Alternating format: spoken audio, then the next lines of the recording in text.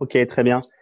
Eh bien, euh, bonjour à tous euh, pour euh, ce second épisode de notre série webinaire Sciences et Rugby. Nous sommes très heureux de vous accueillir encore une fois assez nombreux à, ce, à ce, séminaire. séminaire consacré aujourd'hui à, à l'analyse de la performance en rugby. alors, c'est sûr que l'analyse de la performance n'a rien de nouveau hein, dans, le domaine du sport. Hein. C'est même, un concept qui, est traité depuis de, nombreuses décennies.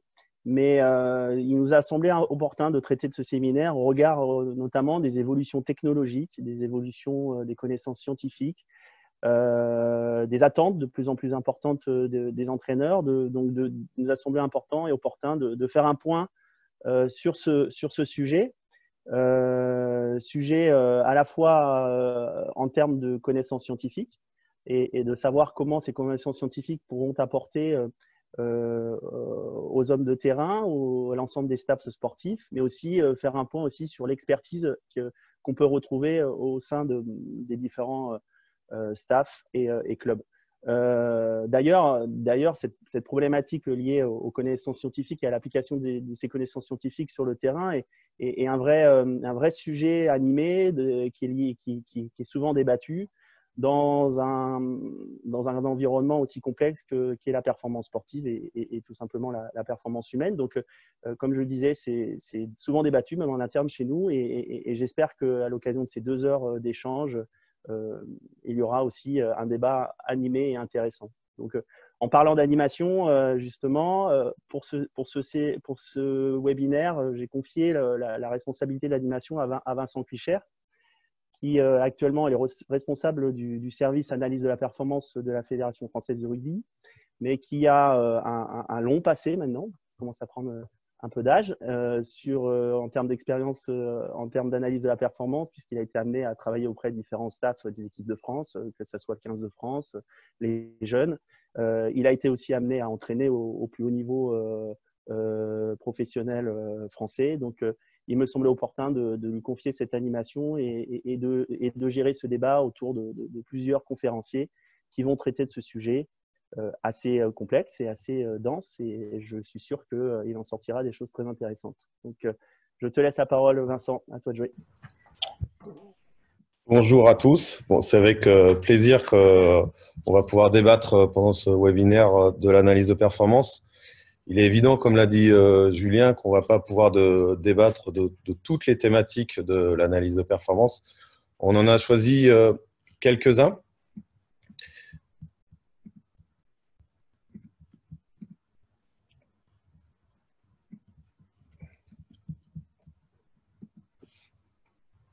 Voilà. Donc, pour resituer déjà euh, euh, ce qui est euh, la discipline de l'analyse de performance, puisque malgré tout, c'est quelque chose qui est, jeune et qui est encore en train d'évoluer énormément. je pense que dans les clubs, on, a tous connu ce qu'on appelait les vidéastes, et puis petit à petit, évidemment, amené sous l'influence des, anglo-saxons, on a un métier qui, qui a évolué pour aujourd'hui, euh, c'est la définition que nous, on en a, euh, objectiver euh, la performance, donc à la fois individuelle et collective, c'est-à-dire aider en fait l'équipe à, performer, aider les, coachs à prendre une décision le plus rapidement possible. Aujourd'hui, au, sein de, de la FFR, le département analyse de performance à cinq pôles euh, qui sont évidemment tous en lien, euh, qui sont pour le premier, je pense que, que vous connaissez tous, c'est l'analyse des équipes de France. Euh, donc, c'est des analyses de performance qui, sont, qui suivent les équipes, qui font partie des staffs. Et on aura une présentation à ce titre de l'excellent Germain, qui officie auprès de l'équipe de France à 7. Euh, voilà, un département, enfin un pôle euh, sur le suivi des joueurs et des joueuses, puisque vous vous doutez bien que nous, à la fédération, euh, chaque équipe et à chaque tranche d'âge, on suit, on, suit, on suit des joueurs. Donc, on essaie un maximum d'automatiser ce, suivi pour avoir des données le, les plus faciles, les plus digestes, mais aussi les plus rapides à analyser. On aura aussi une autre thématique qui sera prise par Jérémy, entre autres. on a lancé depuis deux ans un observatoire du jeu, donc qui permet, qui est un groupe d'experts en fait du rugby, principalement des, entraîneurs des différents en staff des équipes de France, plus des, entraîneurs de, l'extérieur, sur des thématiques euh, euh, du rugby euh, de façon plus générale, avec des, travaux, même des, travaux de, de, recherche. voilà, pour aider encore notre, nos équipes et surtout avoir un coup d'avance sur comment va évoluer le rugby. Euh, un pôle, et ça nous amènera à la dernière présentation euh, de, Antoine et Jens, euh, plutôt techno, avec, avec une approche, on va y revenir, eux, sur les outils de demain dans le rugby. Le dernier pôle, évidemment, il est lié à la, formation et au diplôme, puisque la fédération va, lancer très prochainement un diplôme d'analyse de performance. Donc, on va avoir euh, trois intervenants euh, pendant ce webinaire.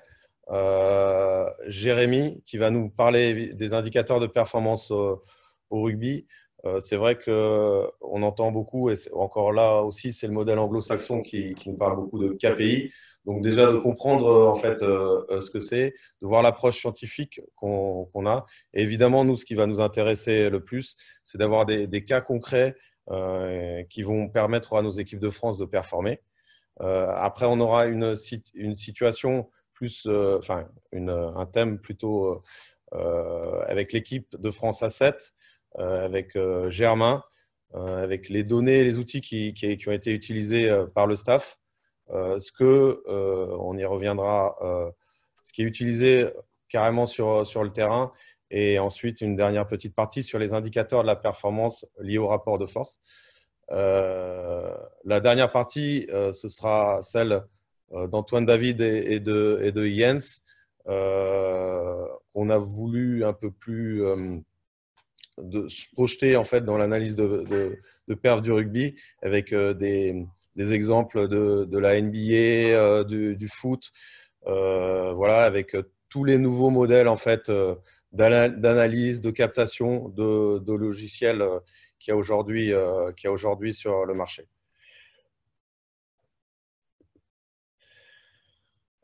Donc, je vais laisser euh, la parole à Jérémy. Avant, je vais quand même le présenter. Jérémy, donc en fait, est étudiant. Il a, il a une licence, licence 1 en, en, STAPS. Après, il est parti dans une école d'ingénieur euh, à l'ENSAI euh, à Kerlan, près de, près de Rennes. Aujourd'hui, il nous, il, nous a, il, il nous a rejoint euh, à la fédération. Voilà, et il a un rôle de data scientist. Donc déjà, juste pour en deux mots présenter le métier de, data scientist, puisqu'on entend, il y a beaucoup de termes encore une fois anglo-saxons, sport scientist, data scientist.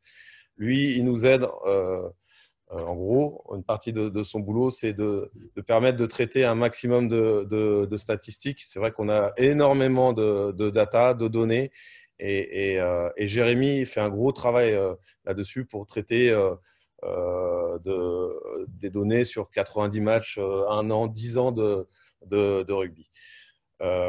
pendant cette conférence, évidemment, vous, pouvez poser vos questions via un un, lien que vous voyez, questions-réponses.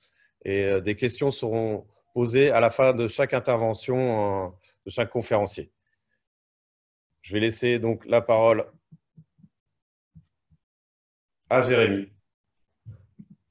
Bonjour à tous. Alors, je vais partager mon écran.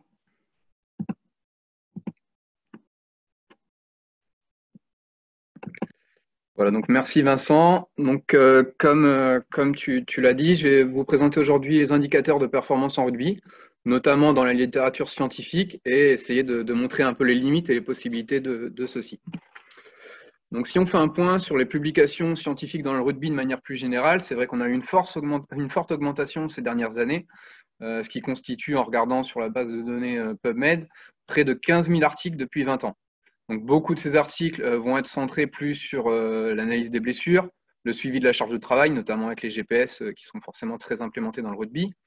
Mais c'est vrai que quand on regarde ceux concernant l'analyse de performance, ça reste très très faible, puisqu'on est à, à moins d'un pour cent de cette quantité d'articles scientifiques. Donc c'est vrai que l'analyse de performance est un champ relativement nouveau, d'autant plus sur le plan scientifique, où c'est vrai qu'en plus, il a, il a tendance à inclure une part de, subjectivité euh, et un besoin d'expertise pour pouvoir justement avoir des, analyses pertinentes. Donc cependant, quand je me suis plongé dedans, j'ai quand même distingué un certain nombre d'articles qui comparaient notamment euh, des équipes qui gagnaient et des équipes qui perdaient pour essayer de définir des indicateurs de performance. Et en fait, je me suis rendu compte qu'il y en avait un certain nombre, même une grande quantité, qui essayait de définir ces différents indicateurs de performance, bien souvent collectifs. Donc pour commencer, je vais vous en faire un, résumé euh, assez rapidement. Euh, je ne vais pas forcément m'éterniser sur, euh, ce, tableau, vous pourrez le voir au replay si nécessaire. Mais c'est vrai qu'on a un certain nombre d'articles, comme je l'ai dit, avec des disparités forcément au niveau des données, donc que ce soit sur les compétitions, sur euh, le nombre de matchs, où certains articles, sont sur uniquement une dizaine de matchs, tandis que d'autres sont sur euh, quasiment 600 matchs. On a forcément des distinctions euh, dans le type d'analyse, dans la forme des KPI utilisés. On retrouve forcément des conclusions assez similaires dans les KPI, mais aussi quelques divergences.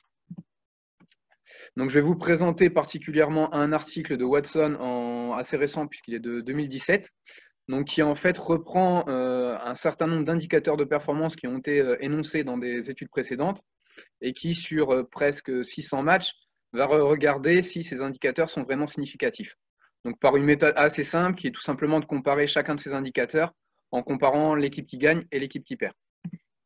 Donc les principaux indicateurs qui vont ressortir de manière plus large, c'est les indicateurs qui sont liés directement à la marque. Donc ce n'est pas forcément les indicateurs qui vont être le plus le plus exploitable pour le staff, mais c'est des indicateurs qui sont souvent mis en avant pour euh, remontrer un peu forcément le fait que mettre plus d'essais, ça a plus de chances de, remporter le match. Ensuite, par exemple, la possession, il semblerait, d'après cette publication, que les équipes qui ont davantage de possession ont également euh, plus de chances de remporter le match.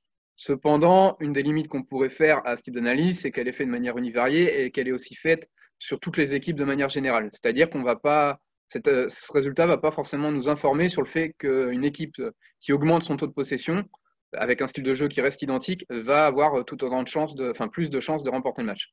Ça, ça pourrait être une analyse complémentaire qui pourrait être intéressante à faire. On, distingue également les franchissements dans beaucoup d'études. Forcément, les franchissements peuvent, peuvent être liés au, au nombre d'essais. Et donc, effectivement, les équipes qui gagnent font en moyenne 7 franchissements contre un peu moins de 5 pour celles qui perdent. Euh, prochain indicateur, le jeu au pied. Donc là, ça paraît peut-être un peu moins intuitif et peut-être même un peu contradictoire avec la possession, mais les équipes qui jouent davantage au pied ont euh, plus de chances de remporter le match. Donc encore une fois, c'est vrai que ce qui pourrait être intéressant, c'est d'avoir une analyse qui prend en compte toutes ces variables euh, de manière simultanée, puisque forcément, peut-être qu'une équipe qui joue au pied a peut-être moins de possession, et ainsi de suite. Et donc du coup, effectivement, ça pourrait peut-être avoir des conclusions différentes. Euh, les turnovers sont également forcément un indicateur de performance avec les équipes qui concèdent davantage de turnovers eh bien, euh, perdent davantage les matchs. Les plaquages réussis, même si la différence n'est pas forcément très importante, c'est vrai qu'avoir un taux de plaquage réussi plus important serait également un indicateur. Les euh, donc la vitesse de ruck notamment, ceux qui font plus de ruck lents seraient en effet plus à même de, perdre le match, mais je vais y revenir par la suite. Et enfin, le dernier indicateur que je voulais souligner, c'était le, pourcentage de touches volées. Donc forcément, c'est un peu moins nombreux dans un match, mais c'est vrai que dans beaucoup de publications, dès lors que cet indicateur est, euh, quantifié, il ressort souvent de manière assez significative. Donc là, pour le coup, euh, en effet, le fait de, réussir à voler des touches pourrait vraiment être euh, un indicateur intéressant. Donc la question qu'on peut se poser quand on essaie de construire ces différents indicateurs de performance, ça va être sur quel objectif? Donc dans la plupart des études, comme je l'ai énoncé, c'est vrai qu'en fait, on regarde uniquement l'équipe qui gagne et l'équipe qui perd et de manière euh, assez descriptive, on va comparer, euh, même avec des, statistiques, tout de même, mais on va comparer chacune des, stats, comme le, nombre de plaquages, le nombre de jeux au pied, le nombre de passes, et on va regarder effectivement si l'équipe qui gagne ou l'équipe qui perd euh, en a fait davantage ou moins. Donc c'est un résultat qui reste quand même très binaire puisque c'est uniquement victoire-défaite. Il y a une publication qui a été plutôt intéressante de, de en 2017 aussi, je crois, qui ne s'est pas non pas centré uniquement sur victoire-défaite, mais sur d'autres indicateurs. Euh, par exemple, le, classement de l'équipe ou son nombre de points. Donc ça permet d'avoir des données un peu moins volatiles que uniquement sur un match. Euh, il a également fait la même chose, mais sur la différence de points lors d'un match. Et là, c'est plutôt intéressant parce que c'est vrai qu'une victoire euh, de uniquement un point ou une victoire de plus de 30 points, forcément, ça ne va pas avoir les mêmes répercussions. Ou encore sur le nombre de points marqués ou le nombre de points concédés. Et là, effectivement, encore une fois, ça va être des conclusions qui vont être différentes et qui vont plutôt renseigner sur des indicateurs de performance en attaque ou en défense. Et enfin, l'autre moyen que je voulais, de, de construire ces indicateurs que je voulais forcément énoncer, c'est le projet de jeu de l'équipe qui, euh, qui semble forcément, à mon avis, euh, primordial pour définir justement le jeu souhaité et quels indicateurs euh, choisir. Maintenant, sur la manière de mesurer ces indicateurs, alors c'est vrai que dans, dans, la plupart des publications, on a des statistiques qui sont absolues. Donc encore une fois, c'est juste le nombre de passes, le nombre de jeux au pied, le nombre de plaquages, par exemple. Mais il y a une publication plutôt intéressante d'une équipe galloise sur la Coupe du Monde 2015 qui a comparé en fait ces statistiques absolues à des statistiques relatives par rapport à l'adversaire. Comme par exemple le fait d'avoir marqué, enfin d'avoir inscrit plus de, inscrit plus de points, mais d'avoir réussi plus de franchissements, d'avoir concédé moins de pénalités. Et donc effectivement, en comparant ces deux, ces deux modèles, ils se sont rendus compte qu'en regardant des statistiques en relative, on avait une meilleure prédiction de l'équipe qui allait remporter le match. Donc c'est quelque chose qui peut paraître assez intuitif, puisque forcément une équipe qui remporte le match, c'est une équipe qui a inscrit plus de points que son adversaire. Et mais forcément, quand on va regarder le, différentiel, par exemple, de, franchissement, comme on sait que les franchissements sont liés au nombre de points, et eh bien directement, on va retrouver ce, résultat. Donc, ça paraît assez intuitif que d'un point de vue statistique, on ait une meilleure prédiction. Pour autant, une des, limites quand même à ce type d'analyse, il, me semble, c'est qu'en fait, on mélange des notions offensives et défensives. Donc, si on a un bon euh, un bon différentiel, par exemple, de turnover ou de franchissement, eh bien, on ne saura pas forcément si c'est parce qu'on a été bon en attaque ou en défense. Et donc, du coup, peut-être un manque d'information qui peut être préjudiciable à un moment. Autre moyen, par exemple, de calculer ces statistiques, c'est de les ramener euh, au temps de possession, au temps de possession qu'on a eu euh, ou au contraire que l'équipe a eu. Cette fois-ci, on est plus centré sur le jeu produit, que ce soit en attaque ou en défense. Et là, justement, une petite illustration d'une analyse qu'on avait fait, nous, pour, euh, pour la Coupe du Monde dans le cadre de l'Observatoire du jeu. On avait regardé sur une dizaine d'équipes les différentes actions, donc le nombre de mètres gagnés ballon en main, le nombre de rucks et le nombre de passes par minute de possession on a comparé ça sur, comme je l'ai dit, sur une dizaine d'équipes. Là, je vous en ai ressorti trois. Euh, donc l'Australie, euh, la Nouvelle-Zélande et l'Afrique du Sud. C'est vrai que l'Australie et, euh, la Nouvelle-Zélande sont plus hauts dans chacune des stades, donc on pourrait conclure à un jeu plus rapide. On constate davantage que l'Australie, c'est plus de ruck, alors que la Nouvelle-Zélande, c'est davantage de, de passes. Donc ça peut être dû à un style de jeu ou à une opposition menée par leurs adversaires. Pour autant, quand on regarde, l'Afrique du Sud sont euh, bien inférieurs sur chacun de, de, ces points. Donc, ce qui euh, nous induit à une, vitesse de jeu euh, largement moindre. c'est pour ça qu'il est intéressant de, constater tout ça pour analyser le jeu, mais ce n'est pas forcément un indicateur de performance hyper important et que après, selon le style de jeu et les autres stats de, chacun, ça ne sera pas forcément un, indicateur uniquement à suivre, puisque forcément l'Afrique du Sud a remporté la Coupe du Monde. Donc, deux possibilités, c'est d'avoir euh, surtout des statistiques personnalisées, puisqu'en fait, il y a une infinité de, combinaisons possibles. Et l'important, c'est de trouver des indicateurs qui vont permettre d'offrir euh, la vision la plus complète et objective euh, sur la performance pour les coachs. Maintenant, je voulais évoquer la réduction de dimension, puisqu'en effet, en fait, on se retrouve des fois avec le nombre de données fournies par les, analyses vidéo par les fournisseurs de données sportives avec énormément de variables à prendre en compte. Ce n'est pas forcément évident, d'autant plus que la plupart sont corrélées entre elles et qu'elles représentent globalement des concepts similaires. C'est pour ça qu'il y a une publication de Parmar euh, assez récemment. C'était sur non pas du rugby à 15, mais du rugby à 13 cette fois-ci. Et en fait, à partir du gros jeu de données qu'il avait, il a réalisé une, méthode statistique qui s'appelle analyse en composantes principales et qui permet de réduire ce nombre de variables en un certain nombre de, composantes. Donc là, ils ont retenu 10 variables qui concernent principalement quatre, euh, quatre grands concepts que sont la possession, la vitesse de jeu, la forme de l'équipe euh, par rapport à son classement et la discipline. Donc après, forcément, le nombre de concepts va dépendre des données qui sont incluses dans l'analyse, mais ça permet du moins de se centrer sur moins d'indicateurs et peut-être d'avoir une vision plus facilement compréhensible. Par contre, au niveau de l'interprétation, les valeurs sont plus difficiles et c'est une des limites de, ce type d'analyse. Maintenant, je voulais parler du contexte spatio-temporel, puisqu'en fait, il y a une, analyse qui était très intéressante de, Bremner, qui a regardé en fait ces différents indicateurs de performance, mais surtout voir comment ils évoluaient dans le temps. Donc pour ça, il les a découpés en tranches de 10 minutes et il a regardé ce qu'on appelle l'odds ratio, donc il y a un rapport de probabilité. Il a défini qu'en dessous de 0,5, l'équipe avait plus de risques de, perdre le match et au-delà de 2, davantage de chances de, le remporter. Donc c'est vrai que quand on regarde ce, graphique, on se rend compte notamment que les rocks rapides, surtout dans les 20 premières minutes, mais également dans les 20 dernières, permettent de davantage gagner le match a priori, alors que les rocks lents, au contraire, seraient, quel que soit le moment du match, plus, euh, plutôt négatif. Si on regarde également euh, un travail qu'on a fait encore une fois pour l'Observatoire du jeu, donc là j'ai mis à chaque fois les, photos des, différentes personnes avec qui euh, j'ai eu l'occasion de travailler sur ces projets. donc on a regardé en récupérant encore une fois des données de stats, on, les a découpées pour pouvoir, via une analyse un peu temporelle, pour pouvoir avoir justement tous les indicateurs selon les, zones de jeu qui nous intéressent. On a regardé les vitesses de ruck pour chacune des équipes ce qu'on a pu constater et ce dont on s'attendait un peu, c'est qu'effectivement, les rucks les plus lents étaient les rucks près de notre ligne d'essai.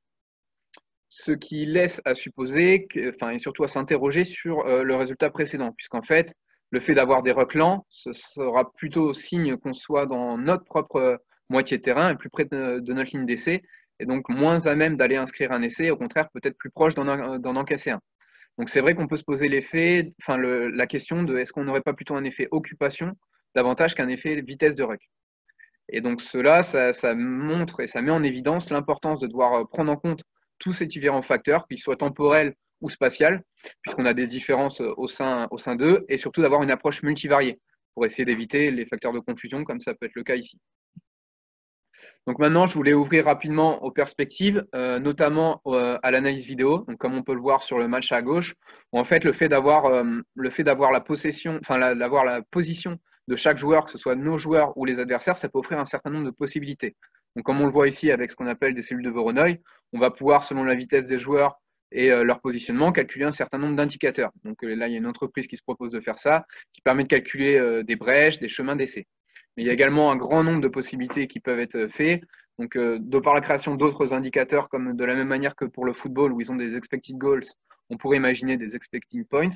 Euh, d'essayer de mieux comprendre le jeu, avec par exemple les styles de jeu, ce sera évoqué plus tard euh, dans, une des prochaines présentations, ou encore une meilleure évaluation, qu'elle soit collective ou individuelle. Donc à la fois, j'ai enfin, cité, cité à chaque fois un exemple, mais on pourrait en imaginer une grande, grande quantité. C'est vrai que ce tracking vidéo serait vraiment une grosse opportunité pour l'analyse de performance. Justement, je voulais un peu euh, éveiller les curiosités en posant une question, est-ce que chaque action se vaut? Donc là, j'ai deux petites vidéos.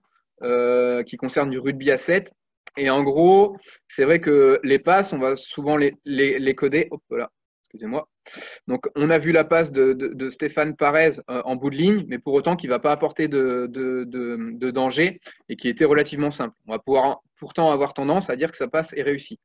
Pour autant, si on regarde d'autres passes euh, de Stéphane Parez, encore une fois, donc là, on va voir une première passe. Là, il touche le ballon il arrive à trouver son coéquipier qui est plus esselé, donc peut-être une passe plus importante. Euh, il va en faire une deuxième dans le cours de l'action, ici où il va retoucher le ballon. Il va se retrouver encore une fois euh, plutôt enfermé avec une probabilité d'aller inscrire un essai plutôt faible. Et il va réussir à trouver son coéquipier qui, lui, est tout seul pour aller jusqu'à l'essai. Et pour autant, dans l'évaluation, donc forcément, d'un point de vue qualitatif, on se souviendra de cette action après le match, mais sur un grand nombre d'actions, d'un point de vue quantitatif, ça ressortira difficilement. Donc là, je voulais évoquer justement une publication qui a été faite par une équipe belge et néerlandaise, encore une fois plutôt dans le foot, puisque eux ont la reconnaissance vidéo, mais qui permet d'évaluer chaque action. Donc c'est un, concept qui paraît euh, bah, assez simple dans la compréhension, je trouve, après dans la réalisation qui est un peu plus complexe. Mais en fait, l'idée, c'est de calculer des probabilités d'inscrire des points et d'en encaisser à chaque moment du match. Donc avant une passe et après une passe, on connaît la probabilité de marquer des points ou au contraire d'en encaisser. Et ensuite, ça consiste tout simplement à faire la différentielle entre ce qui s'est passé à la fin de l'action et euh, au début. Et donc, du coup, ça permet d'évaluer ce type d'action. Par exemple, pour Stéphane Parez, on se retrouve d'une situation qui n'était pas forcément favorable à une situation très favorable, ce qui euh, évaluera de manière très positive cette action. Et par la suite, du coup, d'attribuer une note au joueur en fonction des actions auxquelles il a participé. Donc, c'est un exemple, encore une fois, de choses qui pourraient être euh, pertinentes par la suite si l'analyse vidéo sera mise en place, puisque forcément, on en aura besoin pour calculer ces probabilités d'inscrire des points et d'en encaisser de manière assez précise. Donc maintenant, une fois qu'on a nos indicateurs de performance, la question qu'on peut se poser, c'est où placer euh, le curseur? Quels objectifs fixer? Donc celui que je voulais énoncer encore une fois en premier lieu, c'est le projet de jeu, qui à mon avis est, euh, primordial et fondamental dans, ce type d'information. Ensuite, le niveau. Est-ce qu'on a des référentiels au niveau, par exemple, international qui nous disent que, eh bien, il faut, euh, il ce pourcentage-là pour être efficace? Donc peut-être se baser sur ce référentiel-là. L'adversaire, savoir peut-être adapter en fonction du style de jeu de l'adversaire ou euh, d'un groupe d'adversaires, eh bien, savoir adapter son, son curseur.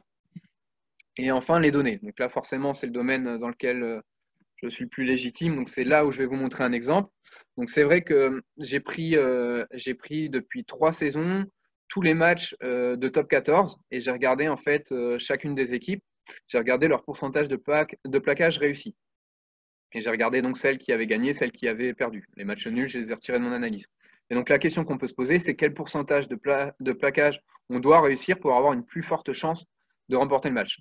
effectivement, comme ça, euh, à l'œil, ce n'est pas forcément évident, mais il y a des méthodes statistiques avec des algorithmes qui permettent de sortir des, cuts euh, de manière plutôt automatique.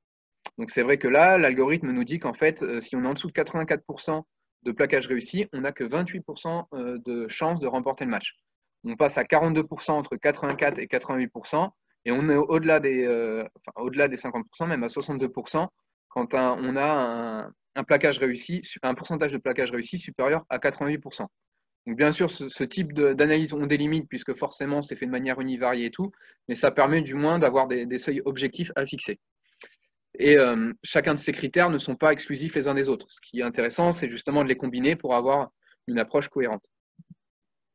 Maintenant, sur l'évaluation euh, de la performance, donc là j'ai pris des données physiques. Alors c'est peut-être pas forcément le meilleur exemple puisque les données physiques, on peut dire que c'est plus ou que c'est moins d'un match sans forcément pouvoir dire que c'est mieux ou moins bien. Donc là, euh, l'exemple que je voulais surtout, sur lequel je voulais vraiment insister, c'est sur l'importance d'avoir des référentiels. Donc comme on le voit ici, on va avoir un match qu'on va comparer à une moyenne, euh, à une moyenne habituelle avec des Z-scores qui vont permettre, par exemple, d'évaluer un peu la significativité de cette différence. Il va être aussi intéressant de comparer la donnée du joueur par rapport à son poste, euh, par rapport à ce qui est fait par son poste habituellement, ou même plus précisément par rapport à des profils similaires. On peut également relativiser ça par rapport à la performance globale de l'équipe, par rapport à ce que l'équipe a euh, l'habitude de faire. Donc toujours avoir ce, référentiel permet justement d'interpréter cette, euh, cette performance, tout en prenant en compte également le contexte et le scénario du match. Ensuite, une fois qu'on a pu évaluer tout ça, ce qui est intéressant, c'est surtout d'essayer de comprendre la survenue des indicateurs. Donc, par exemple, on sait que les franchissements sont un indicateur de performance. Donc, pour le coup, nous, on a fait une analyse euh, du coup à la fédération sur euh, les, les, patterns euh, de, franchissement. Est-ce qu'on peut trouver des patterns similaires avant un franchissement? Donc, pour cela, on a analysé près de 250 actions qui aboutissaient à un franchissement lors de la dernière Coupe du Monde et du dernier Six Nations. On a regardé tous les événements précédents ce franchissement. Donc ici, on a le franchissement, avant, on a les portées de balles, les passes de manière assez générale et toutes les différentes actions. On a ensuite, via une méthode statistique qui est de l'optimal matching, eh bien, regrouper les séquences euh, d'événements plutôt similaires. Donc, on se retrouve avec euh, six groupes euh, qui permettent de sous-catégoriser les franchissements. Ensuite, on a calculé un certain nombre d'indicateurs sur chacun de ces groupes pour essayer de au mieux les interpréter. Donc, on a des, des groupes qui vont s'interpréter par rapport au début de leurs actions, par rapport à la durée, à la vitesse de l'action, par rapport au changement de sens, par rapport au positionnement sur le terrain, par exemple. Et à la fin, essayer de regarder justement les forces et faiblesses de chacune des équipes, des équipes sur, sur tous ces groupes de franchissement, que ce soit sur le nombre moyen de, de franchissement réalisés par match, celles qui en ont fait beaucoup ou peu, ou au contraire celles qui concèdent beaucoup de ce type de franchissement ou très peu. Autre euh, analyse qu'on a pu réaliser d'un point de vue cette fois-ci collectif. Donc là, on est sur euh, ce qu'on appelle euh, une visualisation en réseau. On a estimé en fait les probabilités de transition, encore une fois sur la Coupe du Monde, de, chacun des postes. Donc on a regardé la probabilité qu'un joueur avait de garder le ballon ou au contraire qu'il avait de la passer à, chaque, à chacun de ses coéquipiers. Donc ce qui est intéressant ensuite, c'est de pouvoir mesurer un certain nombre d'indicateurs. Donc j'en ai, j'en ai référencé quelques-uns ici que sont la densité, la proximité, l'intermédiarité, le clustering. Il peut y en avoir forcément d'autres. Et ce qui est intéressant surtout, c'est d'essayer de comparer euh, euh, ces, indicateurs d'une équipe à l'autre pour essayer de pouvoir identifier des schémas de jeu ou des interactions qui sont forcément difficilement ou du moins pas toujours évidents à caractériser uniquement par la vidéo. Même si une fois qu'on a identifié un résultat, il est toujours important d'aller le, comprendre un peu mieux et aller le, visualiser via la vidéo. Maintenant, je voulais parler de la relation justement entre ces indicateurs de performance et l'état de forme. Donc là, il y a une publication qui a été faite dans ce sens. encore une fois, c'est les Gallois qui ont été s'entraîner dans faire des stages en Pologne et qui ont pris un certain nombre de mesures. Ils ont regardé le rapport entre ces mesures et leur performance en match. Et il y a eu des résultats plutôt très intéressants. ils ont pu constater notamment que les turnovers avaient tendance à augmenter avec le stress et avec une motivation plus faible. Également, l'évaluation euh, faite par le coach euh, était influencée par l'humeur du joueur et son taux de, cortisol. Et c'était le sommeil qui influençait euh, également quand c'était une évaluation réalisée par le joueur lui-même. Donc, ce qui montre vraiment l'intérêt justement de, suivre ces indicateurs d'état de forme pour qu'ils soient au mieux et pour que les joueurs justement soient performants lors des matchs. Dans le même sens, il y a eu deux, publications euh, qui se sont intéressées euh, cette fois-ci non pas aux indicateurs d'état de forme, mais aux données de tests physiques. Forcément, c'est des choses qui sont euh, plus ou moins imaginées, mais c'est vrai que de pouvoir montrer de, manière, scientifique effectivement le fait d'être plus rapide sur 10 mètres, eh ben, ça va augmenter par exemple le nombre de franchissements, ou, ou par exemple le fait d'avoir un pourcentage de masse grasse plus faible va améliorer le pourcentage de plaquage réussi, eh bien c'est des choses qui sont forcément pertinentes et qui encouragent du coup au développement des, qualités physiques. Justement, sur ce lien entre euh, vidéo et GPS, donc je voulais montrer euh, quelques travaux qu'on a réalisés à la fédération, euh, où on essaie justement de, rassembler les deux. On va récupérer par exemple des données vidéo, notamment les contacts et tout ça, ou avec les notions d'efficacité pour essayer de visualiser la performance de manière plus globale. C'est le, graphique qu'on a ici. On a le déplacement du joueur avec le GPS, donc qui est lissé sur un seuil, je crois, d'une minute, et les actions, pareil, du joueur lissées euh, de la même manière. Et ainsi, on peut constater, euh, voir comment le joueur a agi aux, fortes intensités, voir notamment si l'efficacité s'est dégradée au cours du match. Ou au contraire, par exemple, ici, on pourrait constater que lors des débuts de mi-temps, l'efficacité était légèrement moins bonne. Autre exemple, euh, dans la qualification, la quantification des séquences haute intensité et des séquences même extrêmes de match, donc de manière classique, euh, il y a de plus en plus de publications à ce sujet où on regarde les, euh, séquences extrêmes de déplacement. nous, on essaie aussi d'inclure les séquences de, contact pour essayer d'avoir une évaluation un peu plus complète. C'est vrai qu'on regarde les séquences extrêmes de déplacement, on a très très peu de contact. Et effectivement, quand on regarde les séquences extrêmes de, de contact, on a une, forcément un déplacement un peu moindre. Ce qui serait intéressant de regarder, on va essayer de se pencher là-dessus, c'est d'avoir des séquences un peu hybrides qui sont à la fois importantes, mais pas en pic en déplacement, mais également en combat. Donc l'idée est toujours d'avoir une vision plus complète de la performance. Justement, par rapport à cette quantification de la charge physique, on avait fait un travail euh, avec le, rugby à 15 féminin et le rugby à 7 féminin. On a comparé un peu ces différentes demandes d'activité au cours du match on avait constaté que sur une, séquence glissante en fait d'une minute, on avait la même euh, séquence pic à, peu près entre les filles du 7 et les filles du 15. Par contre, quand on regarde non pas uniquement la séquence extrême, mais qu'on regarde la proportion euh, de, ces séquences dans le jeu, c'est vrai qu'on regarde par exemple ici les 10% de séquences les plus importantes, eh bien on a tout de suite une différence entre les deux pratiques. Bon, c'est un peu un résultat qu'on pouvait s'attendre puisque forcément le, rugby à 7 euh, est, sur un temps de jeu plus court, mais c'est bien de, pouvoir le montrer, d'essayer de mieux comprendre justement euh, la pratique. Et dans ce sens, je voulais montrer également un exemple. Euh, donc là, j'ai simulé forcément deux, courbes qui pourraient ressembler à des données GPS. Ce qu'on fait de manière globale, c'est qu'on va regarder des indicateurs comme la distance. La distance, par exemple, haute intensité, qu'on pourrait regarder comme la distance supérieure à 18 km/h. Donc ici, elle est équivalente pour chacun, chacune de, de, ces courbes. On pourrait également regarder la durée passée au-delà des 18 km/h. Donc là encore, elle est exactement équivalente entre ces deux courbes.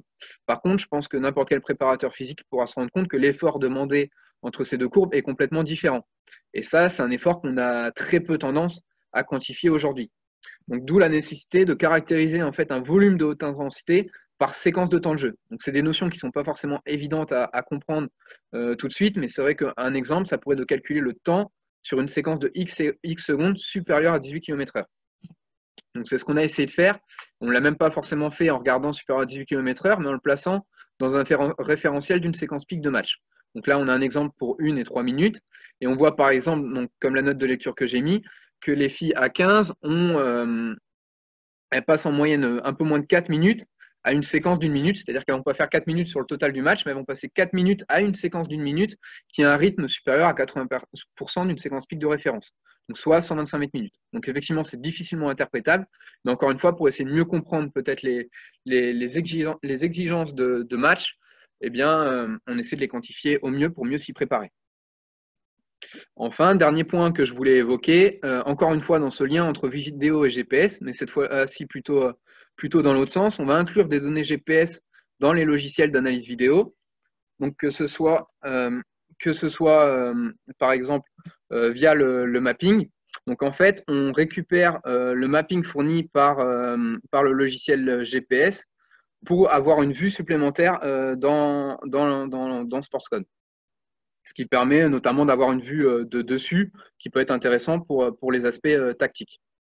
Autre exemple, on inclut également dans le logiciel GPS, enfin dans le logiciel d'analyse vidéo, la vitesse de déplacement fournie par les GPS et le positionnement sur le terrain fourni par le GPS. Donc comme ça, on sait à chaque instant où se situe le joueur et à quelle vitesse, ce qui va permettre un certain nombre d'analyses et de créer un certain nombre de fenêtres statistiques, par exemple. Encore une fois, l'idée est d'essayer d'enrichir les analyses de performance par les données physiques. Et enfin, pour terminer, un, petit résumé assez succinct, mais qui reprend un peu les différents concepts. Donc le fait de devoir analyser euh, le jeu et le, rugby pour essayer de mieux comprendre, mieux, identifier des facteurs qui vont influencer la performance. Ensuite, choisir euh, ces différents facteurs en fonction de son projet ou encore euh, de l'adversaire euh, savoir les évaluer via des référentiels pour pouvoir les interpréter de manière assez juste et essayer de comprendre justement ce qui a été bon, ce qui n'a pas été bon par l'analyse vidéo et par les statistiques qui peuvent, qui peuvent aider. Et ensuite continuer en réanalysant à nouveau euh, par la suite. Voilà, merci de votre attention et je vous laisse du coup euh, pour les questions.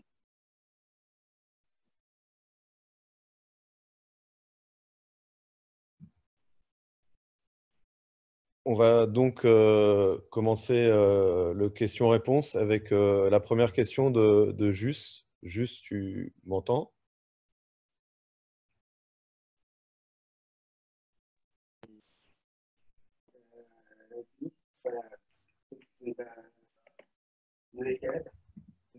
Allô?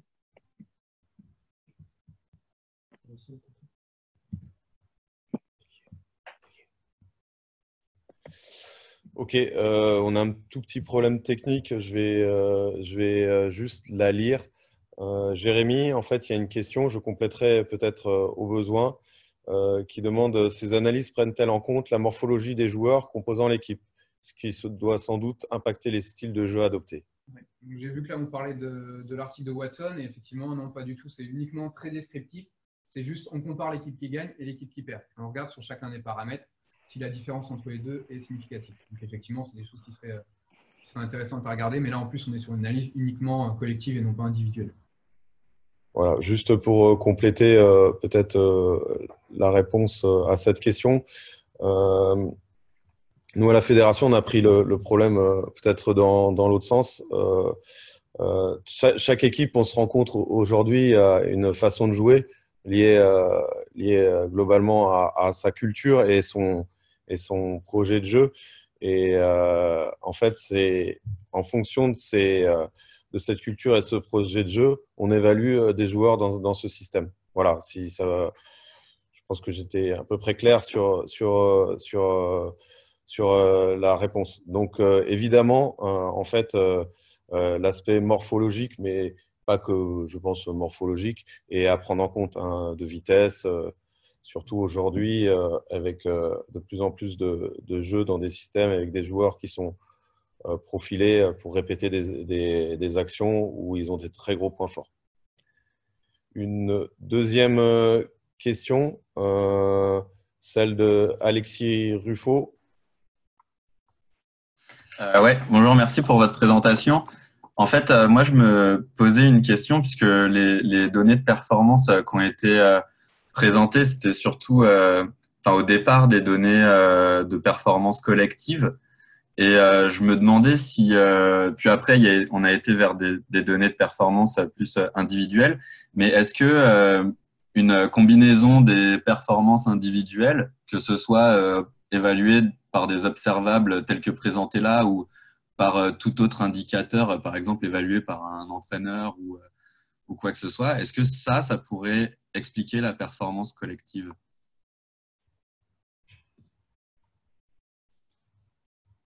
Oui, tout à fait. Je pense qu'il y a, y a plein de choses à faire euh, là-dessus. Effectivement, il y a des travaux qui sont faits euh, sur tout ça.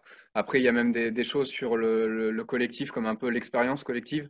Le fait d'interagir souvent, d'avoir des coéquipiers, enfin d'avoir souvent les mêmes coéquipiers, où là, on a des résultats assez intéressants. Il y a des travaux menés sur enfin, avec l'INSEP là-dessus euh, à ce sujet. C'est vrai que le collectif, la prise en compte d'individus dans le collectif est forcément des possibilités qui sont, qui sont intéressantes d'un point de vue de l'analyse.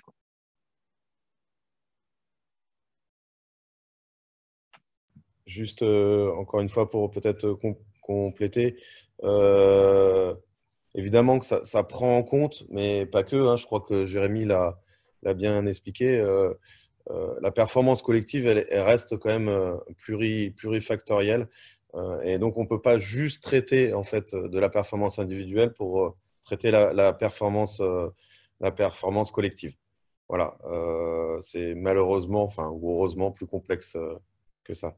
Je crois qu'on va prendre une dernière euh, euh, question, la question de Ronan. Oui, bonjour, vous m'entendez? Donc, la question de Ronan, euh, Jérémy, c'est dans vos analyses, beaucoup de moyennes apparaissent. Cependant, utilisez-vous le worst case scénario, c'est-à-dire de ne pas se préparer à une moyenne de match, mais au pire cas possible lors du match Alors après, tout à fait. Après, là, la plupart des analyses que j'ai montrées, ce n'est pas forcément des choses qu'on fait à la fédération, c'est une revue, euh, une revue littéraire euh, scientifique. Mais c'est vrai que forcément, bah, je l'ai présenté, à mon avis, j'ai répondu à la question par la suite. effectivement, on regarde les, worst case scénarios, que ce soit sur le déplacement, sur l'activité de combat, sur le nombre d'accélération, sur la haute intensité, par exemple. Et encore une fois, c'est ce que j'ai dit aussi, ce qui va être intéressant, c'est non pas uniquement la séquence pic d'activité, mais ce volume de séquences à haute intensité qu'on qualifie encore peu et qui est peut-être plus représentatif du match qu'une seule séquence euh, du match, qui est peut-être un peu plus volatile d'un match à l'autre.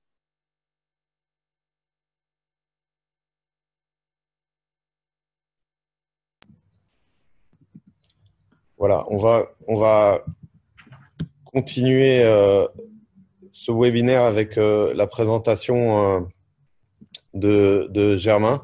Euh, qui va faire, euh, je pense, euh, le lien avec, avec ce qu'a dit Jérémy, puisque en fait, on se rend compte qu'il y a une, de plus en plus de data et que la data est, finalement aujourd'hui plus un problème. Le, le, le, plus difficile aujourd'hui, vous vous rendrez compte, c'est de la traiter, de l'analyser et, de pouvoir s'en servir pour son projet de jeu. Et, et, euh, et, d'améliorer euh, d'un point de vue individuel et collectif euh, les joueurs ou les joueuses dans ce contexte-là. on va laisser donc la, place à Germain l'excellent Germain, qui est, je vais le présenter un tout petit peu, qui était joueur du SCUF, puis, puis, puis de Massy. Euh, quand il était joueur de Massy, il était aussi étudiant en, STAPS, où il a décroché brillamment un, Master 2. Euh, depuis, il a rejoint la fédération. Euh, depuis maintenant plus de 10 ans, il a été euh, analyse de, performance du rugby à 7, que ce soit des hommes et, des femmes.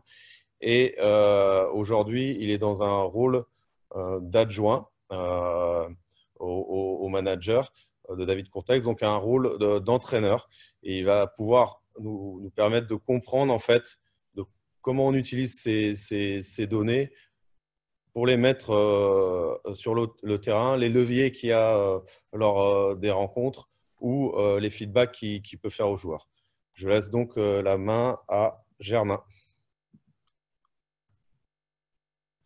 Bonjour à tous. Bah, déjà pour commencer, merci, merci à la fédération de. Je ne sais pas si je mérite de par la, qualité de mes données et, et, de ce que je vais présenter d'être d'être avec vous, mais je vais essayer de faire au mieux. Euh, voilà, moi, l'idée euh, aujourd'hui, et je pense que ben, vous allez vite le comprendre, c'est peut-être par des moyens un peu plus simples, euh, mais de, rester dans l'esprit de, ce qu'a montré Jérémy, et bien de trouver un peu les applications qu'on va avoir sur le terrain. avant de commencer, je voulais, je voulais quand même rappeler, pas pour être provocateur, mais que, que le rugby n'est pas une science, que c'est un jeu, que c'est joué par des hommes, jugé par des hommes, ça me semble aussi important, et pour l'instant encore analysé par des hommes euh, jusqu'à preuve du contraire. Et, je, suppose qu'il y, a plusieurs pistes qui, euh, en tout cas, ça mérite d'être relevé.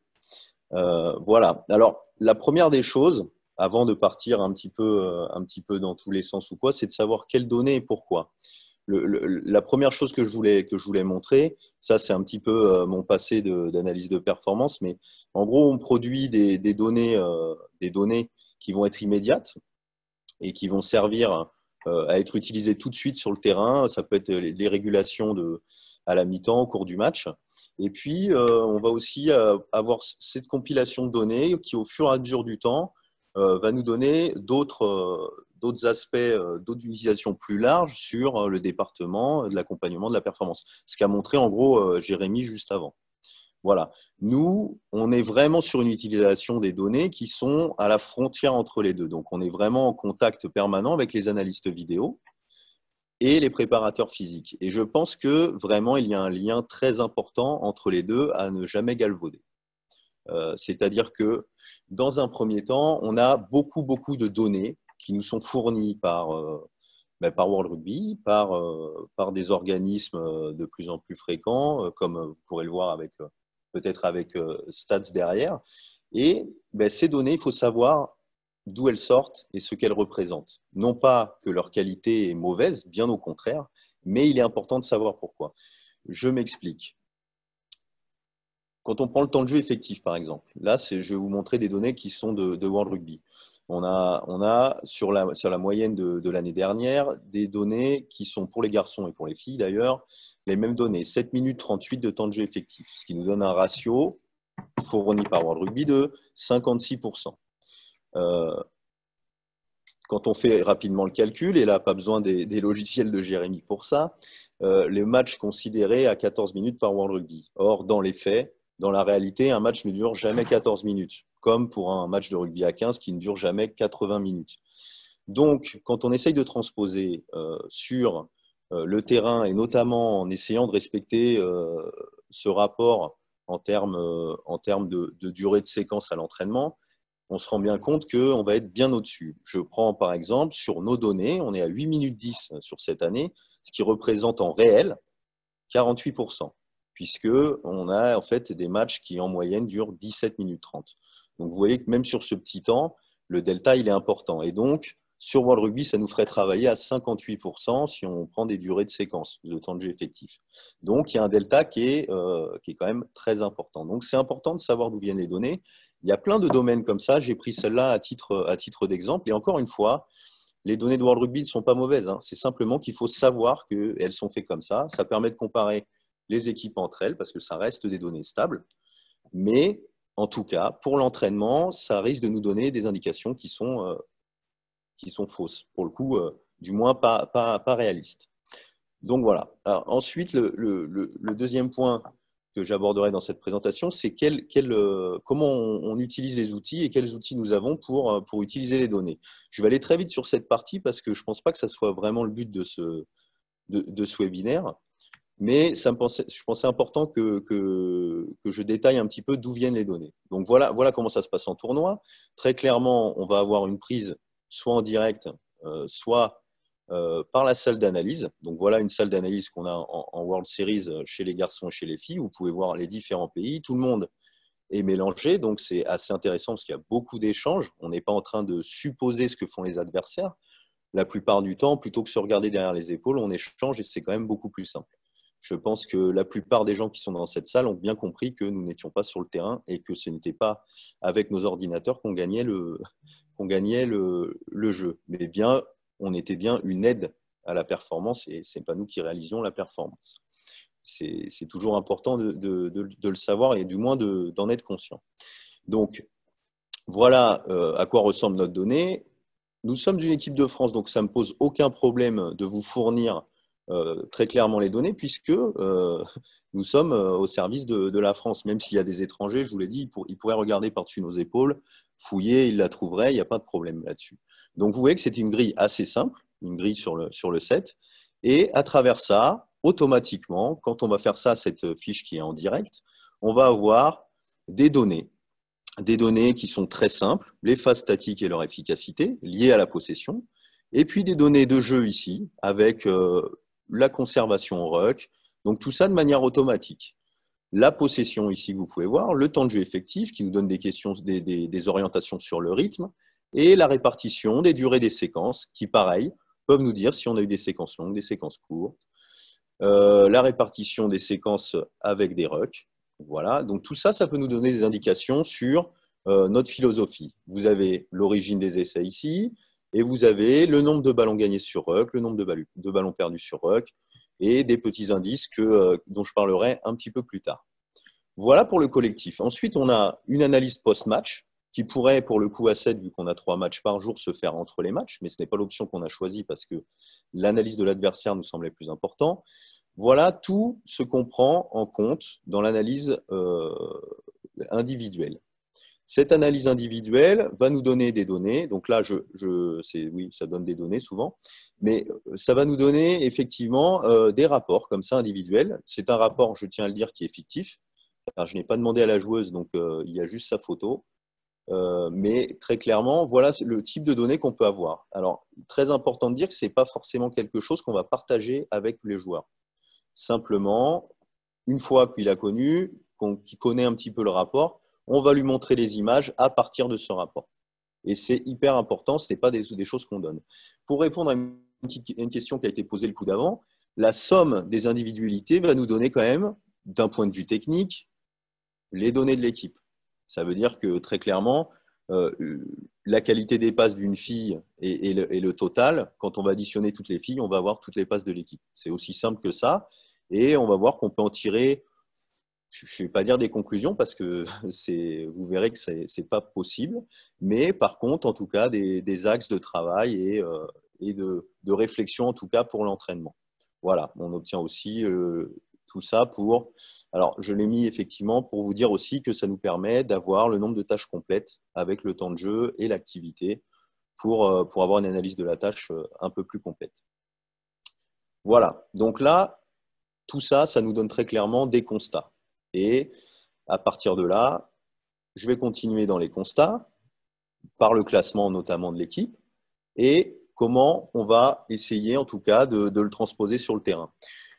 Le premier constat, c'est que sur cette saison, bon, qui a été tronquée, hein, évidemment, euh, vous vous en doutez, on a quand même joué 5 tournois, il y a eu 26 matchs, et sur les 26 matchs, nous avons gagné 16 matchs, nous avons gagné contre toutes les équipes, et nous avons perdu uniquement contre les trois premières équipes qui sont la Nouvelle-Zélande, l'Australie et le Canada. À relativiser contre les USA, qui font partie du, top 4, top 5 mondial, qui était deuxième l'année dernière, contre qui nous avons joué uniquement un match. Donc très clairement, quand on, voit ce tableau, ben, nous sommes à notre place, hein. il n'y a, aucun souci. Euh, euh, mais ce qui est important, et vous allez voir pour la suite, c'est que nous avons perdu uniquement face aux trois premiers. Et très clairement, le rapport n'est pas du tout favorable. Donc, on est vraiment, vraiment à notre place. Dans le sens, voilà, et, ce que disait Jérémy, très clair, hein, du, le plus simple possible, la différence de score. On voit que face au Canada, on a perdu sur des différences de score plutôt faibles. Contre l'Australie, à part un premier match, voilà, les quatre matchs suivants ont été également très serrés. Et la Nouvelle-Zélande, qu'on a battu quand même une fois, on voit qu'effectivement, il y a une différence de score qui est un peu plus, euh, un peu plus élevée. L'idée, c'était, euh, comme l'a dit un peu Jérémy, d'aller croiser plusieurs données pour voir ce que ça donne. Donc, quand on voit par rapport au match gagné de manière générale, effectivement, les franchissements, on a l'impression que quand on franchit plus, on a tendance à gagner, euh, à gagner et à marquer plus d'essais. Ça paraît logique. Mais quand on va sur le rapport de force et sur le top 3, on s'aperçoit que la frontière entre les deux est beaucoup plus mince. Je vous rappelle qu'on a perdu que contre les trois premières. Donc en fait, effectivement, on a toujours une inversion, mais on est à un franchissement près par, euh, match. Donc ça ne paraît pas, euh, hyper frappant. Ce qui va nous intéresser un peu plus, c'est le ratio franchissement-essai. Pourquoi est-ce qu'on a pris ce ratio franchissement-essai Savoir si quand on arrivait à franchir, on, était capable de marquer derrière. Mais là, très clairement, il y a une application sur le terrain. Cette application, elle peut être de plusieurs ordres. Elle nous donne des pistes, en tout cas. La première, ça va être est-ce que physiquement, ça pourrait être, hein, je ne sais pas forcément la première, il n'y a pas de hiérarchie, hein, mais la première, ça pourrait être est-ce que physiquement, on est capable d'aller assez vite et de finir les coups? Donc peut-être qu'on aurait des orientations du point de vue physique. Et dans ces cas-là, on, ben, écoute, on se rapproche du prépa physique, on regarde les données GPS, on essaye d'analyser. Voilà. Deuxième, deuxième chose, est-ce que ce serait des données rugby? C'est-à-dire, est-ce que quelqu'un s'est oublié sur la circulation offensive? Euh, Est-ce que dans notre entraînement, on laisse continuer les actions? Ou est-ce que dès qu'il y a un franchissement, on estime que c'est bon?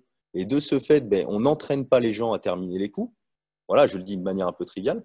Mais voilà les pistes que, en tout cas, euh, ces franchissements, peuvent, peuvent en tout cas nous, nous donner. Et enfin, ben pour savoir de manière la plus rapide, parce que l'on est toujours sur un ratio, qu'est-ce que ça nous coûte, qu'est-ce que ça nous rapporte, eh ben on va regarder la vidéo, et puis on va regarder les franchissements, et on va regarder ceux qui marchent et ceux qui ne marchent pas.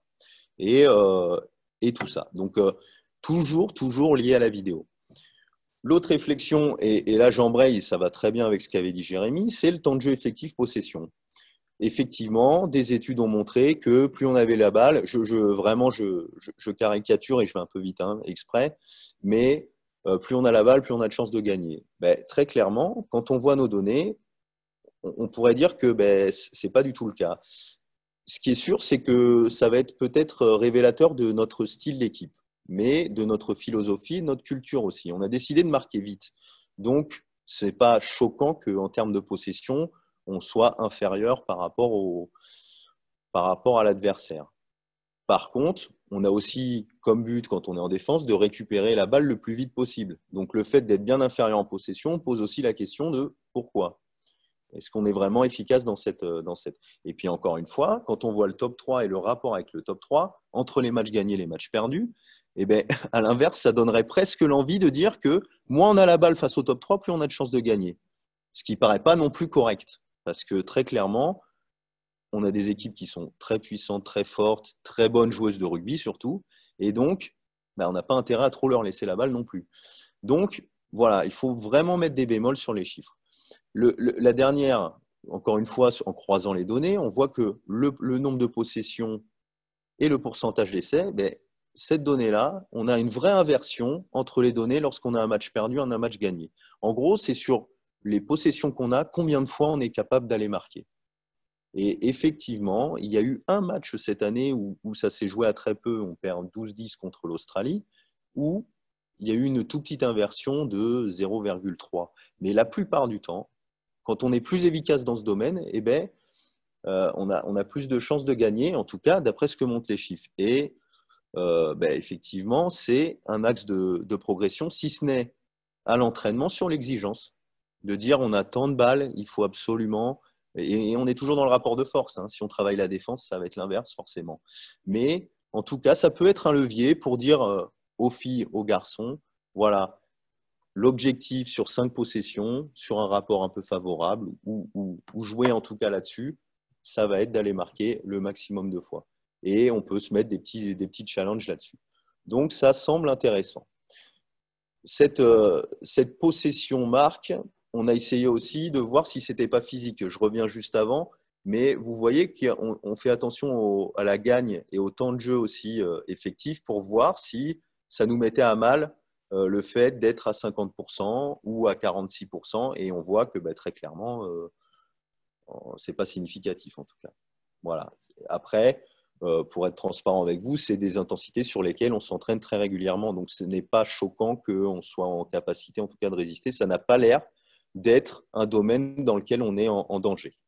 Voire, après, ça se joue à 0,4, donc là, pour le coup, c'est vraiment euh, trivial. Voilà. Donc, ça n'a pas l'air d'être non plus euh, discriminant pour nos adversaires. À creuser et surtout à regarder à la vidéo une fois de plus. Euh, on s'est aussi intéressé parce qu'on avait cette sensation, une sensation, et c'est souvent de ça que ça part, qu'on avait un peu de mal, notamment sur les séquences longues de nos adversaires. Donc on est allé voir un petit peu sur les marques. On a pris la finale de la Coupe du Monde, donc vous allez voir que nous, nous n'avons pas réussi à marquer sur cette finale. Mais effectivement, quand on voit ce que la Nouvelle-Zélande nous a imposé, on voit qu'au départ, en tout cas, on a eu euh, deux grosses séquences longues qui ont amené des essais. Donc, on a fait une répartition et on a regardé sur l'année si effectivement ben, c'était quelque chose qui, euh, qui, était redondant. Et ben, c'est très clairement euh, moins le cas face, face aux Néo-Zélandais sur l'année, de manière générale. Mais c'est des pistes et il va falloir qu'on creuse, qu'on creuse là-dedans. En tout cas, ce qui est intéressant, c'est que lorsqu'on s'attaque à ça, on va regarder les différentes durées de séquence et en fonction des adversaires, on va avoir donc sur l'année par rapport aux autres, ça va nous donner des vrais axes de travail pour, euh, ben, pour l'entraînement.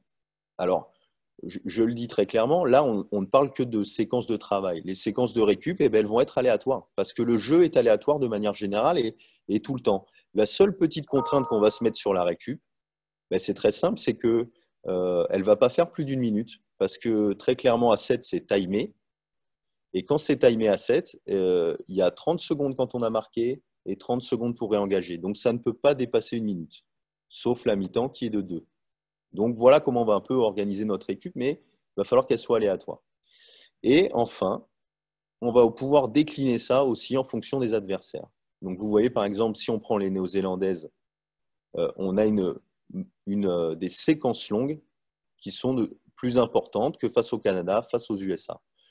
Euh, très clairement, c'est lié au style de jeu de l'équipe et aux difficultés qu'elle nous cause. Hein. Voilà, ni, plus ni moins. L'autre chose, c'est qu'on va pouvoir regarder aussi les séquences de jeu, donc face à nous, mais face aussi aux adversaires. Et là, on aura aussi euh, très clairement ben, leur projet de jeu et leur culture qui, va, être lié à tout ça. enfin, on va terminer sur, sur, cette, sur cette partie, sur des réflexions sur l'efficacité de l'équipe, des joueuses, et quelles limites on a à tout ça. Donc, on parlait tout à l'heure de, de l'efficacité euh, des, joueurs ou joueuses et euh, de l'addition pour en donner une stat euh, très clairement collective. Lorsqu'on met ces, ces, données, en tout cas l'efficacité offensive et défensive, lorsqu'on les met en rapport avec les matchs gagnés ou matchs perdus, eh bien, il semblerait qu'effectivement, plus, et ça paraît bête, mais plus on est efficace, plus on a de chances de gagner. Je mets quand même un bémol ici. Vous voyez bien que cette statistique est forcément faussée par le rapport de force. Ici, nous avons tous les matchs gagnés. Donc forcément, l'efficacité du match, elle va augmenter parce que nous allons jouer face à des adversaires qui nous est, contre lesquels on a moins de difficultés à être efficace. Et vous allez voir que ça va se, ça va se vérifier lorsqu'on va sur le détail. Effectivement, contre les Néo-Zélandaises, lorsqu'on gagne, on est plus proche des 76%. Et sur nos matchs, de manière générale, donc en comptant, c'est-à-dire trois matchs perdus sur quatre, on est plus proche des 70. Et pareil pour le Canada et pour l'Australie. Donc ça, c'est pour l'efficacité offensive, défensive et totale. Là où on va aller voir aussi, on va aller regarder l'efficacité, et là plutôt de manière collective, sur les rucks. Très concrètement, on a une inversion ici entre les matchs gagnés et les matchs perdus. Donc de manière basique, on a l'impression que quand on a une capacité à conserver les rucks avec tout ce que ça implique, hein, euh, du contact, du soutien, euh, une circulation offensive cohérente, bien sûr, quand on a cette capacité à conserver le, ballon, on a tendance à gagner. On s'aperçoit que face aux néo-zélandaises, on est en grande difficulté sur nos rocks offensifs. Vous voyez aussi la quantité de rock qui est très clairement un reflet de notre philosophie. C'est-à-dire peu de rock en attaque et effectivement, défensivement, on oblige l'adversaire à faire beaucoup de rock. Contre les néo-zélandaises, on s'aperçoit qu'on est à égalité. Parce qu'on a deux philosophies qui, mine de rien, sont identiques. C'est-à-dire qu'elles ne veulent pas faire de rock, si ce n'est qu'elles ont un jeu basé un peu plus sur l'usure, en restant devant la défense et en mettant euh, des coups d'épée par euh, notamment des profils de joueuses. Voilà. Mais très clairement, elles ont en tout cas la volonté de ne pas faire de rock. Donc, voilà, on voit aussi le révélateur des styles de jeu et par contre, l'efficacité et la conservation rock, euh, ce n'est pas, pas en tout cas ce style de jeu qui l'explique. C'est plutôt une analyse fine de la situation. par rapport à ce qui a été dit sur les turnovers, quand on va un peu plus loin sur la Nouvelle-Zélande, on s'aperçoit que sur l'année, on a le même nombre de turnovers. Par contre, très clairement, on est sur l'année à 10 fautes euh, contre nous et 20 fautes, 20 fautes pour elle. Donc très clairement, en gros, c'est sur cette phase de ruck qu'elle nous met en difficulté, mais il n'y a pas de turnover direct, ou du moins il n'y a pas de, grosses, euh, de gros delta avec nous. Par contre, elle récupère des ballons euh, de pénalité qui, ressemblent à des turnovers, puisque bien sûr, à 7, on joue un maximum vite les pénalités, en tout cas en ce qui les concerne. Voilà, voilà, je, résume vraiment, et il y a évidemment plein de secteurs que, que parce qu'en 20 minutes, on ne peut pas aller euh, bien loin. Je vais prendre juste un exemple d'action offensive et défensive avant de, terminer. Encore une idée euh, parfois un peu reçue, c'est que la qualité de passe est primordiale euh, pour, le rugby à 7. Alors bien sûr qu'elle est. Si on fait une passe sur deux directement en touche, ça va être compliqué. Mais en tout cas, ça n'a pas l'air d'être discriminant. Regardez les statistiques. Encore une fois, on voit que les néo-zélandaises, les australiennes et le Canada, il y a une légère variation de, de nos pourcentages d'efficacité sur les passes, très peu sur les offloads, mais très clairement, ça, ne paraît pas, en tout cas, euh, de manière significative, rédhibitoire. Par contre, on a fait la même analyse sur les Néo-Zélandais et on s'aperçoit que ben, leur taux de passe est légèrement supérieur, leur taux de offload ne l'est pas, par contre, il est même inférieur. Mais quand on va regarder la vidéo, la grande différence se fait sur des passes qui roulent et qui n'entraînent aucun arrêt du jeu. Contrairement à nous, où lorsqu'un ballon tombe, lorsqu'il y a une passe qui n'est pas très précise, eh bien, la plupart du temps, la plupart du temps, je pourrais le chiffrer, je ne l'ai pas fait, mais il y a euh, faute de main. C'est aussi lié, par moment, euh, à notre capacité à s'entraîner et à arrêter le jeu au bon moment. En gros, si pendant l'entraînement, euh, on arrête le jeu dès qu'un ballon tombe, on n'est pas habitué à, continuer à jouer. Enfin, voilà, c'est des pistes comme ça rapides. Euh, je vais aller aussi sur le plaquage de, sur le plaquage de, manière défensive et je vais, je vais passer vite parce que Jérém en a parlé tout à l'heure, donc je ne voudrais pas euh, le paraphraser. Mais le pourcentage de plaquage paraîtrait comme ça, lorsqu'on le lit aux adversaires, être une donnée importante. Et nous concernant, j'y associerais même le, pourcentage de plaquage actif. C'est la capacité de plaquer, de se relever, d'être disponible immédiatement. Et ça a l'air, en tout cas d'un point de vue, euh, et je vais même le dire visuel également, mais en tout cas ça a l'air d'être euh, un indicateur euh, important dans le match gagné, le match perdu, puisque plus on est actif et plus nous avons un pourcentage de réussite élevé, plus on a de chances de gagner le match d'après les données. Nous avons effectué la, même analyse sur les Blacks et la première impression que nous avions, c'était effectivement, elles plaquent très bien, et la stat le, confirme, et elles sont toujours debout.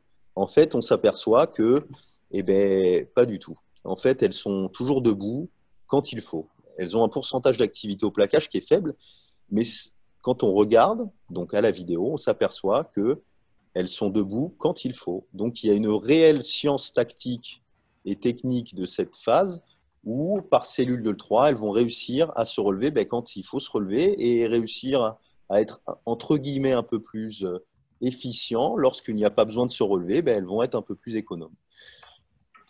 Alors, ce dernier, euh, ce dernier tableau, c'est très clairement, j'ai anonymé, mais ce sont les différences d'efficacité des joueuses en fonction des trois adversaires. L'idée de ce tableau, c'était de voir que ben, si on prend la première joueuse, cette joueuse qui a une efficacité sur la saison de 81%, elle va avoir une efficacité de 83% contre le Canada, 80% contre l'Australie et 77% contre la Nouvelle-Zélande. En gros, l'idée, c'est de dire, et c'était de, ça, c'est clairement un levier sur lequel on insistait auprès des filles, de dire que ben, face même aux équipes un peu plus faibles, il faut garder la même exigence.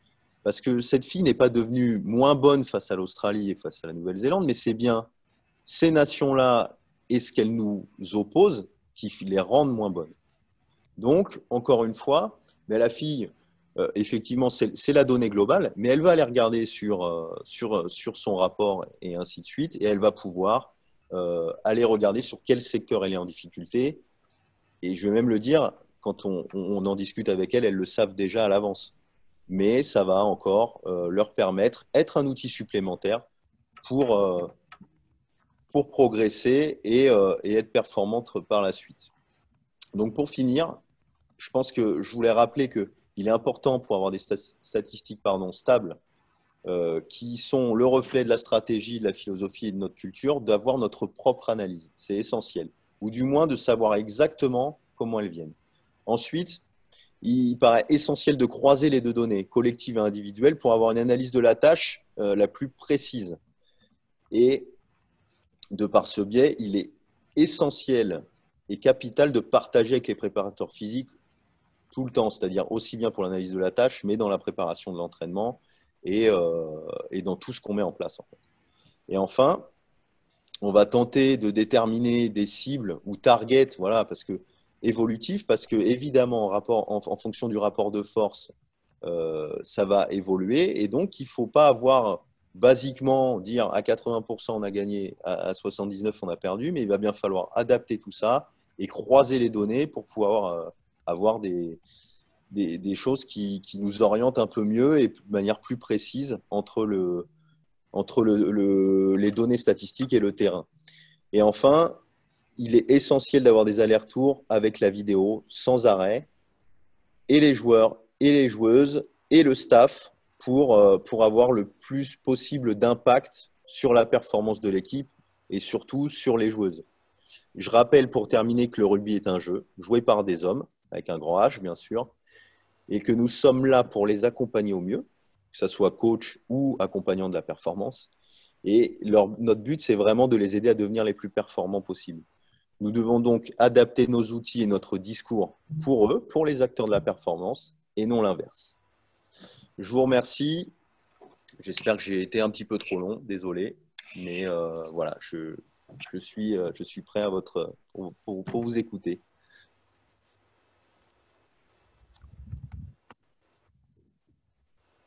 Vincent? Oui, euh, Germain. Euh, merci. On va, on va poser déjà la première question de Kevin. Kevin, tu, m'entends? Oui, bonjour. Bonjour. bonjour Kevin. Bah, merci pour votre présentation. J'avais une question. Donc, vous êtes tous entraîneurs de rugby et spécialistes. Donc, il y a forcément des indicateurs euh, qui sont pour vous logiques et l'analyse statistique permet juste de le confirmer mais est-ce que vous avez des fois trouvé des facteurs de performance qui étaient surprenants ou contre-intuitifs? Alors, c'est vraiment une très bonne question. En fait, on a, on a effectivement, euh, on a effectivement, en fait, je ne dirais pas que c'est contre-intuitif. Euh, toi, tu parles dans l'option que quelque chose en fait que tu n'avais pas prévu te ferait gagner, c'est ça? Oui, c'est ça, en fait, un facteur euh, auquel personne n'avait pensé. Et grâce à l'analyse, en fait, on a une plus-value, on trouve quelque chose de, nouveau de, qui permettra de faire gagner les prochains matchs, peut-être. Eh ben, c'est une excellente question parce que euh, ben, très clairement, dans ce sens-là, ça se passe beaucoup moins. Je, te parle de ma propre expérience, peut-être que Vincent euh, pourra répondre ça, mais là, en tout cas, de tête, je dirais que souvent, ça nous donne des bémols, ça nous permet de nous modérer, euh, maintenant, de dire que quelque chose nous a complètement surpris, là, comme ça, je ne vois pas. Et c'est aussi d'ailleurs pour ça que, que, je prends ce sens-là. Ça veut dire que qu'il bah, y a quand même quelque chose qui, va, qui mouline très vite, c'est le cerveau humain. Et que du coup, euh, ce que tu vois, en fait, tu as besoin de l'objectiver. Mais ce n'est pas dans l'autre sens que ça se passe trop. Et c'est une très bonne question parce que ça aurait pu être, ça aurait pu être le cas. Voilà, je sais pas, je n'ai malheureusement pas trop de réponses là pour le coup. Juste euh, peut-être euh, pour euh, compléter, je crois que c'est de moins en moins le cas, comme le dit Germain. Malgré tout, on, a pu se faire rendre compte aux, entraîneurs de, certains, de, certaines statistiques. Je reprendrai la statistique de Germain sur la pause. Ah, on a On a la, statistique de Germain euh, sur euh, la, possession. Euh, vous avez vu qu'en fait, entre les croyances, peut-être des fois des entraîneurs, que la possession est très importante et la chose la plus importante peut-être au rugby. On, s'est rendu compte avec France à 7 féminine, mais aussi autour de nos équipes de, de France, que eh ben, on avait très peu la possession contre ces équipes fortes, même quand, quand on gagnait. Donc voilà, c'est peut-être peut-être que je réponds seulement partiellement à, ta question, mais c'est juste d'objectiver là encore hein, le ressenti de l'entraîneur. Voilà, si j'ai quelque chose à faire, à dire, c'est juste ça. on, va, on va continuer avec la deuxième question d'Alain. Alain, tu, tu m'entends?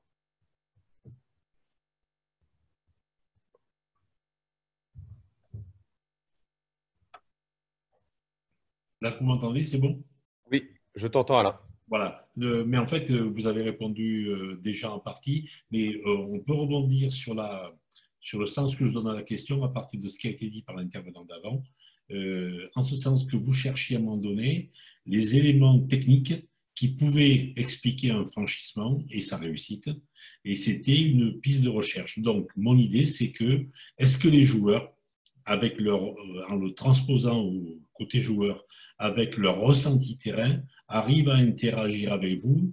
Et même si c'est vous décideurs, projet de jeu, tout à l'heure vous avez parlé vous-même d'interaction avec les joueurs, donc il y a forcément une interaction, donc il y a un côté humain là-dedans bien sûr.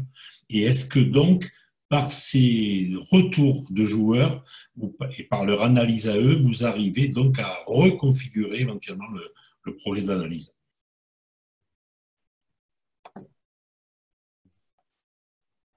Euh, alors, je, je, me, lance, Vincent. Hein, tu... Oui, oui, vas-y, vas-y. Non, alors, euh, effectivement, les, joueurs, euh, en fait, il y, y a, beaucoup d'échanges avec eux, mais on n'est pas sur, sur des joueurs. Enfin, les joueurs, ils sont là pour, pour jouer au rugby quelque part. Hein. Je, je, vais répondre un peu de manière simple, voire simpliste, mais les joueurs, ils sont là pour jouer au rugby. Donc, ce qu'on fait avec eux, c'est qu'on part du rugby.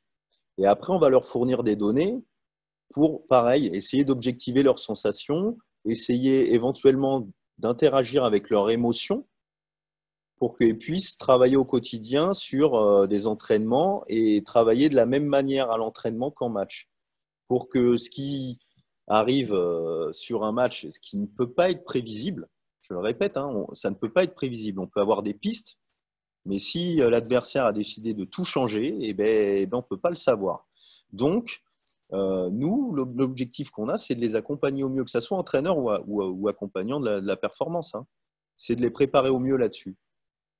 Voilà. Donc, euh, je ne sais pas, Vincent, si tu veux rebondir là-dessus. Mais en gros, ce que je veux dire, c'est qu'on ne peut pas, euh, en tout cas, amener trop loin les joueurs dans ce domaine-là, parce que très clairement, ce n'est pas, pas non plus leur travail.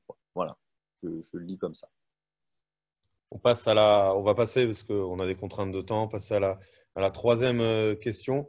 Euh, de Nicolas. Euh, Nicolas, tu nous entends?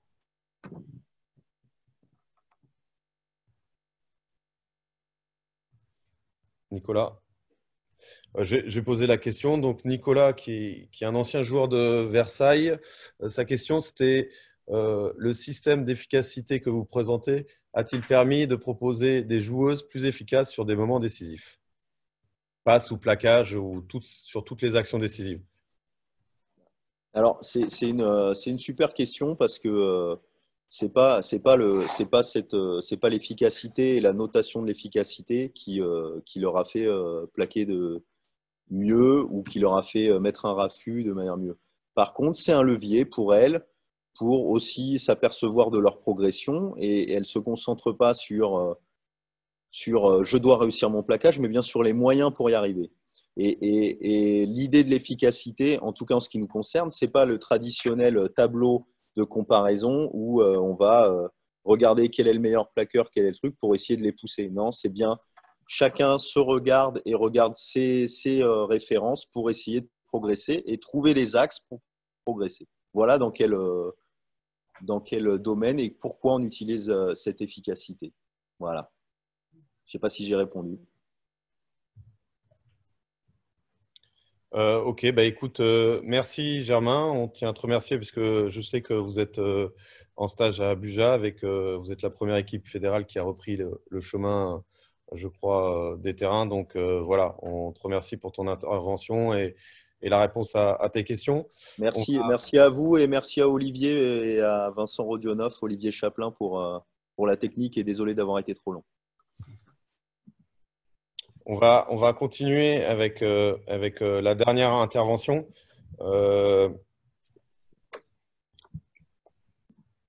donc d'Antoine et, de Jens avec un modèle d'analyse qu'on a appelé analyse euh, de, demain. Je vais d'abord présenter, alors je me suis pris deux, trois notes euh, pour présenter Antoine euh, et Jens, même si on les connaît, nous, à la fédération depuis une, quinzaine d'années, parce qu'ils ont un, bon CV et puis ça fait longtemps qu'on les, je vous dis, qu'on se rend compte. D'abord, pour ce qui est d'Antoine, c'est il, a été précurseur dans, tout ce qui était techno, data dans le monde du sport, puisque ça fait 25 ans qu'il en fait. Il, il, est aussi inventeur euh, via, euh, via Amisco en fait, du tracking optique dans les, dans les, euh, dans les sports collectifs. Et, et, maintenant, il travaille au, sein de Stat Perform, puisque en fait, Amisco a été d'abord racheté par Stat, puis par Stat, Perform.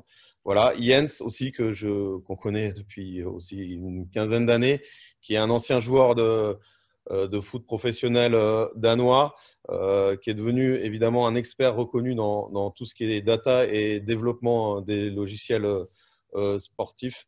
Il est évidemment consultant dans plein d'organisations sportives et notamment par son passé de sportif de haut niveau et spécialement on va dire dans, tout ce qui est foot. Et évidemment, et maintenant aujourd'hui, il, il a suivi, c'est vrai Antoine. Moi, je les ai connus tous les deux sur Amisco et aujourd'hui, il est product manager en charge des solutions analytiques et euh, d'outils d'aide à la décision dans le foot pour Stat, Perform.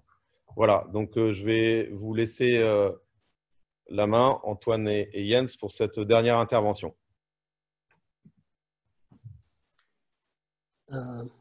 merci pour l'introduction, Vincent. Je vais partager mon écran pour démarrer la, la présentation.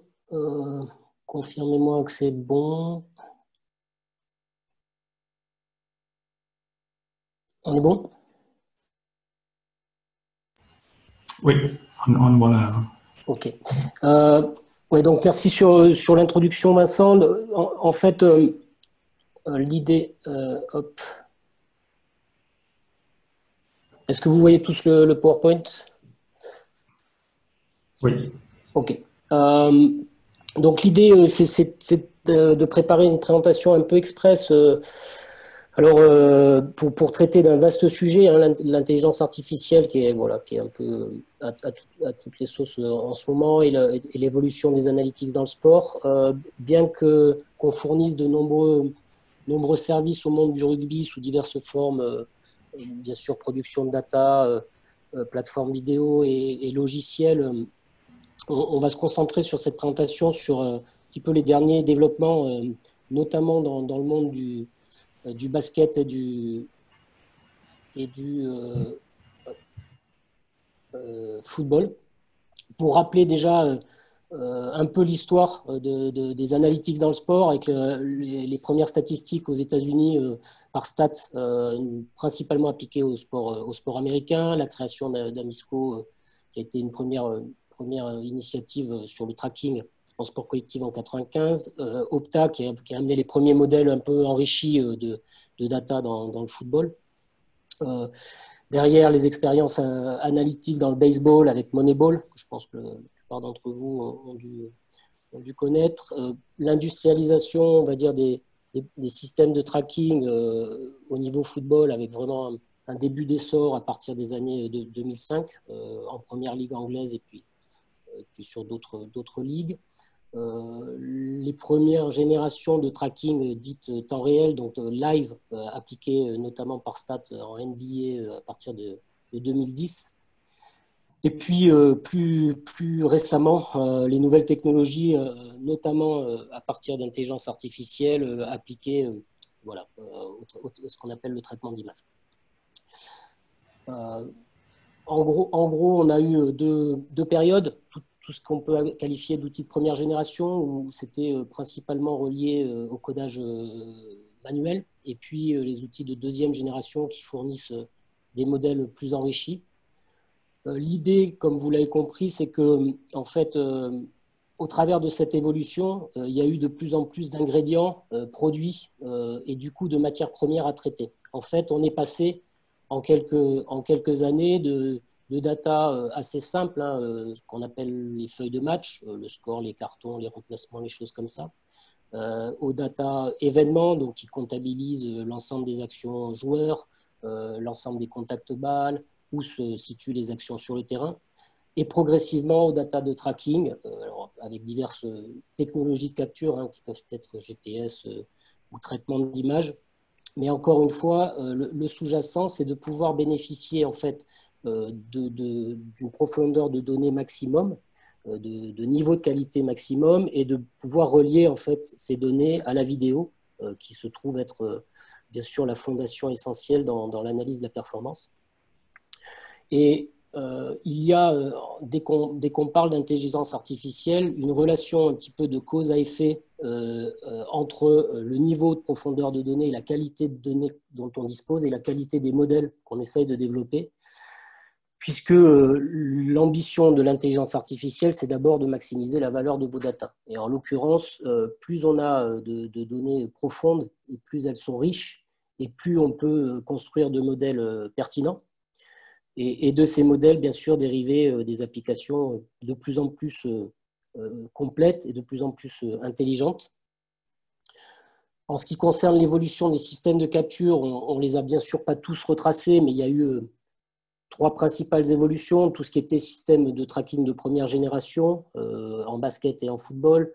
Aujourd'hui, en football, on est à des systèmes de, dits de deuxième génération, donc qui bénéficient bien sûr de, euh, de qualité d'image euh, supérieure, puisque euh, quand on a commencé, on était dans des formats analogiques et aujourd'hui on a la HD, on a des, niveaux de précision beaucoup plus importants et les algorithmes et la puissance de calcul permet en fait une détection beaucoup plus fine et notamment le tracking en temps réel du ballon. Et, au final, on, évolue en fait euh, progressivement de modèles euh, dont l'ambition euh, originale était de, traquer en fait la position des joueurs au sol, vers des modèles où on, arrive à, traquer le, ballon en temps réel, comme on vient de le voir sur l'exemple football ou, basket qui est déployé aujourd'hui en NBA. Et progressivement, on, arrive à, commencer à construire des modèles euh, hybrides, c'est-à-dire des modèles qui, en mariant les deux sources d'information, euh, le contact de balle et, le tracking des joueurs, vont pouvoir commencer à, proposer une détection automatique d'un certain nombre d'événements et du coup euh, bah, d'éviter beaucoup de temps de codage manuel. L'ambition ultime étant ce genre de modèle, donc avec des technologies appelées body pose, dont, le but est réellement, au-delà du tracking de la position au sol, de pouvoir reconstruire idéalement dans un futur euh, euh, proche, l'enveloppe complète des joueurs et donc de, disposer, en plus des données fitness traditionnelles, des données bio, pour ce qui concerne en fait le développement de, données plus riches ou de, ou de KPI, comme, comme on l'a vu avec Jérémy et Germain, en fait, on a un challenge depuis plusieurs années dans, dans, le métier de l'analyse de la performance, c'est que il y a effectivement de plus en plus de données disponibles et de, plus en plus de vidéos disponibles, mais euh, pour autant, le temps des, des staffs techniques euh, n'est pas extensible. Euh, et quand, quand les clubs, par exemple, les gros clubs européens jouent la Champions League, ben, les, process en fait, et les workflows sont réduits sur, sur des temps très courts, de 2 à, 3 jours. Et du coup, c'est extrêmement difficile de savoir trier dans toutes ces données et, et, pointer en fait ce qui sont les données les plus pertinentes. Donc pour ce faire, on a, on a recruté, nous, euh, une, grosse équipe en fait, d'experts internationaux dans, dans, les domaines euh, un peu nouveaux, euh, à la fois de frontières entre la data science et, l'intelligence artificielle. Donc il y a des, gens qui travaillent un peu partout dans le monde, dont, dont, Jens qui va, vous présenter certains modèles fait partie. Et le, premier prérequis pour aboutir à des modèles plus, plus homogène et plus complet, c'était de pouvoir réunir les, deux, les trois sources d'information, qui étaient des métiers presque séparés jusqu'alors, donc les vidéos, les, les, events, donc la position et les stats individuelles et collectives, et les positions des actions et des joueurs enrichir donc le process euh, d'analyse par la, création de modèles plus contextuels et de nouveaux ingrédients statistiques et arriver à des applications qui puissent euh, ingérer tout ça et, euh, être progressivement non plus des outils uniquement de consultation, mais des outils qui aident au processus de prise de décision. Donc l'ambition en fait de, certains modèles qu'on va vous présenter est assez simple, c'est euh, dépasser un peu le cadre des données statistiques classiques pour euh, fournir euh, des ingrédients avec plus de contexte. notamment Jens va vous présenter le, modèle d'analyse des styles de jeu et d'analyse des, patterns de jeu préférentiels en football. pouvoir automatiser un certain nombre de tâches pour permettre aux utilisateurs de gagner du temps par exemple l'automatisation de l'analyse des coups de pied arrêtés en football ou de, recherche de vidéos complexes. Pouvoir euh, objectiver en fait la prise de décision euh, par des ingrédients plus riches, des échantillons justement de, variables plus étendues et toujours reliés à la vidéo. et, bien, et bien entendu, but ultime, aider à la prise de décision je, vais, euh, je vais laisser euh, la parole à Jens, donc mon collègue, qui va vous présenter certains modèles. On n'a pas le temps de vous les présenter tous, mais euh, on les a choisis, les gens de la FFR, dans, un but de pouvoir justement ouvrir une discussion sur l'intérêt de, porter tel ou tel modèle dans le monde du rugby.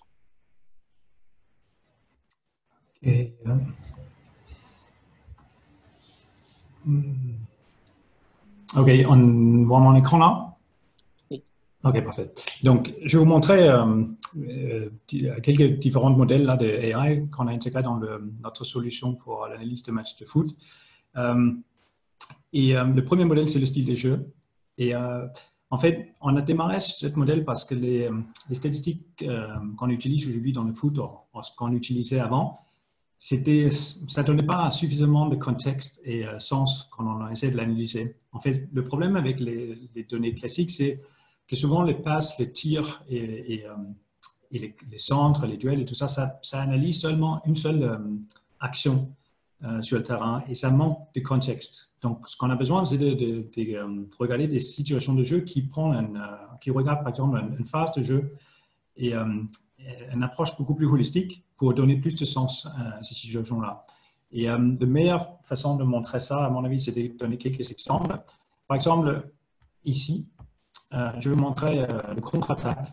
Et euh, comme j'ai expliqué, on ne regarde pas seulement le, moment quand on gagne le ballon, mais le, la manière que l'équipe avance avec le ballon. Par exemple, on regarde la vitesse que le ballon avance et aussi quelle est la distance par rapport au ballon. Et ça permet après d'avoir quelques indicateurs ici, par exemple, la, distance totale, la vitesse du ballon, mais aussi ce qu'on appelle le membership value. En gros, c'est un indicateur qui qui explique quel est le, euh, si cette contre-attaque, c'est une bonne représentation de contre-attaque. Ça veut dire, si c'est 100%, c'est le meilleur euh, exemple, représentation. Si c'est 0, c'est un, mauvais exemple. Ça permet pour l'entraîneur d'analyser, aussi personnaliser un peu euh, l'approche parce qu'on sait que c'est pas noir et blanc, c'est une zone grise souvent où il y a des, des, situations entre les deux et avec ce type d'indicateur, on peut personnaliser et mettre à des seuils comme on souhaite. Un autre exemple, c'est les séquences euh, inverses de contre-attaque dans le foot, c'est euh, les attaques placées. Ça veut dire que la défense est, bien en place et euh, l'équipe doit passer cette défense et on voit qu'il joue aller-retour d'ailleurs. Et ce qu'on peut faire avec ça, c'est qu'on regarde tout simplement les, joueurs qui contribuent à cette phase. Donc, on a aussi la possibilité d'étudier le, niveau des joueurs. là, c'est la phase de domination haute. Donc, ça, c'est un peu plus haut. Et euh, tout le temps, on a ce contexte-là qu'on peut dire euh, un peu regarder. Euh, et aussi le, le, phase de construction, c'est la phase entre les deux, entre la surface et, son propre camp. Et là, on peut, on peut maintenant étudier les passes pendant les phases de construction, par exemple, ou les, différentes contributions des joueurs dans les différentes phases. Donc, ça, aide à trouver quels sont les joueurs qui sont importants dans cette phase de jeu. Euh, la manière de l'appliquer, euh, on pourrait par exemple comparer les différentes équipes sur les, phases de, sur les différents styles de jeu. Par exemple, les contre-attaques, on voit que Rennes, c'est l'équipe qui fait plus de contre-attaques par match en Ligue 1. Et les récupérations hautes, c'est plutôt les, équipes dominantes qui, qui a le ballon beaucoup, qui, qui souhaitent de, faire cette tactique-là ou cette stratégie. Et le jeu rapide qui est nécessaire pour faire circuler le ballon on voit que Paris est largement au-dessus des autres. Euh, ça, ça demande beaucoup de technicité et euh, on voit qu'effectivement, ils maîtrisent très bien ce type de façon de jouer. Donc, ça permet tout de suite de, classer les différentes équipes par rapport à un, style bien particulier. On peut, par exemple, ici regarder Strasbourg. Et là, chez les différents euh, indicateurs de style, le, la ligne ici, c'est le moyenne ligue. Donc, on voit tout de suite si c'est une équipe, là, c'est un style de jeu qui, qui pratique plus que le moyenne ligue. Par exemple, on voit que la conservation basse, euh, mais Strasbourg, il fait 25, 26% plus de moyenne ligue.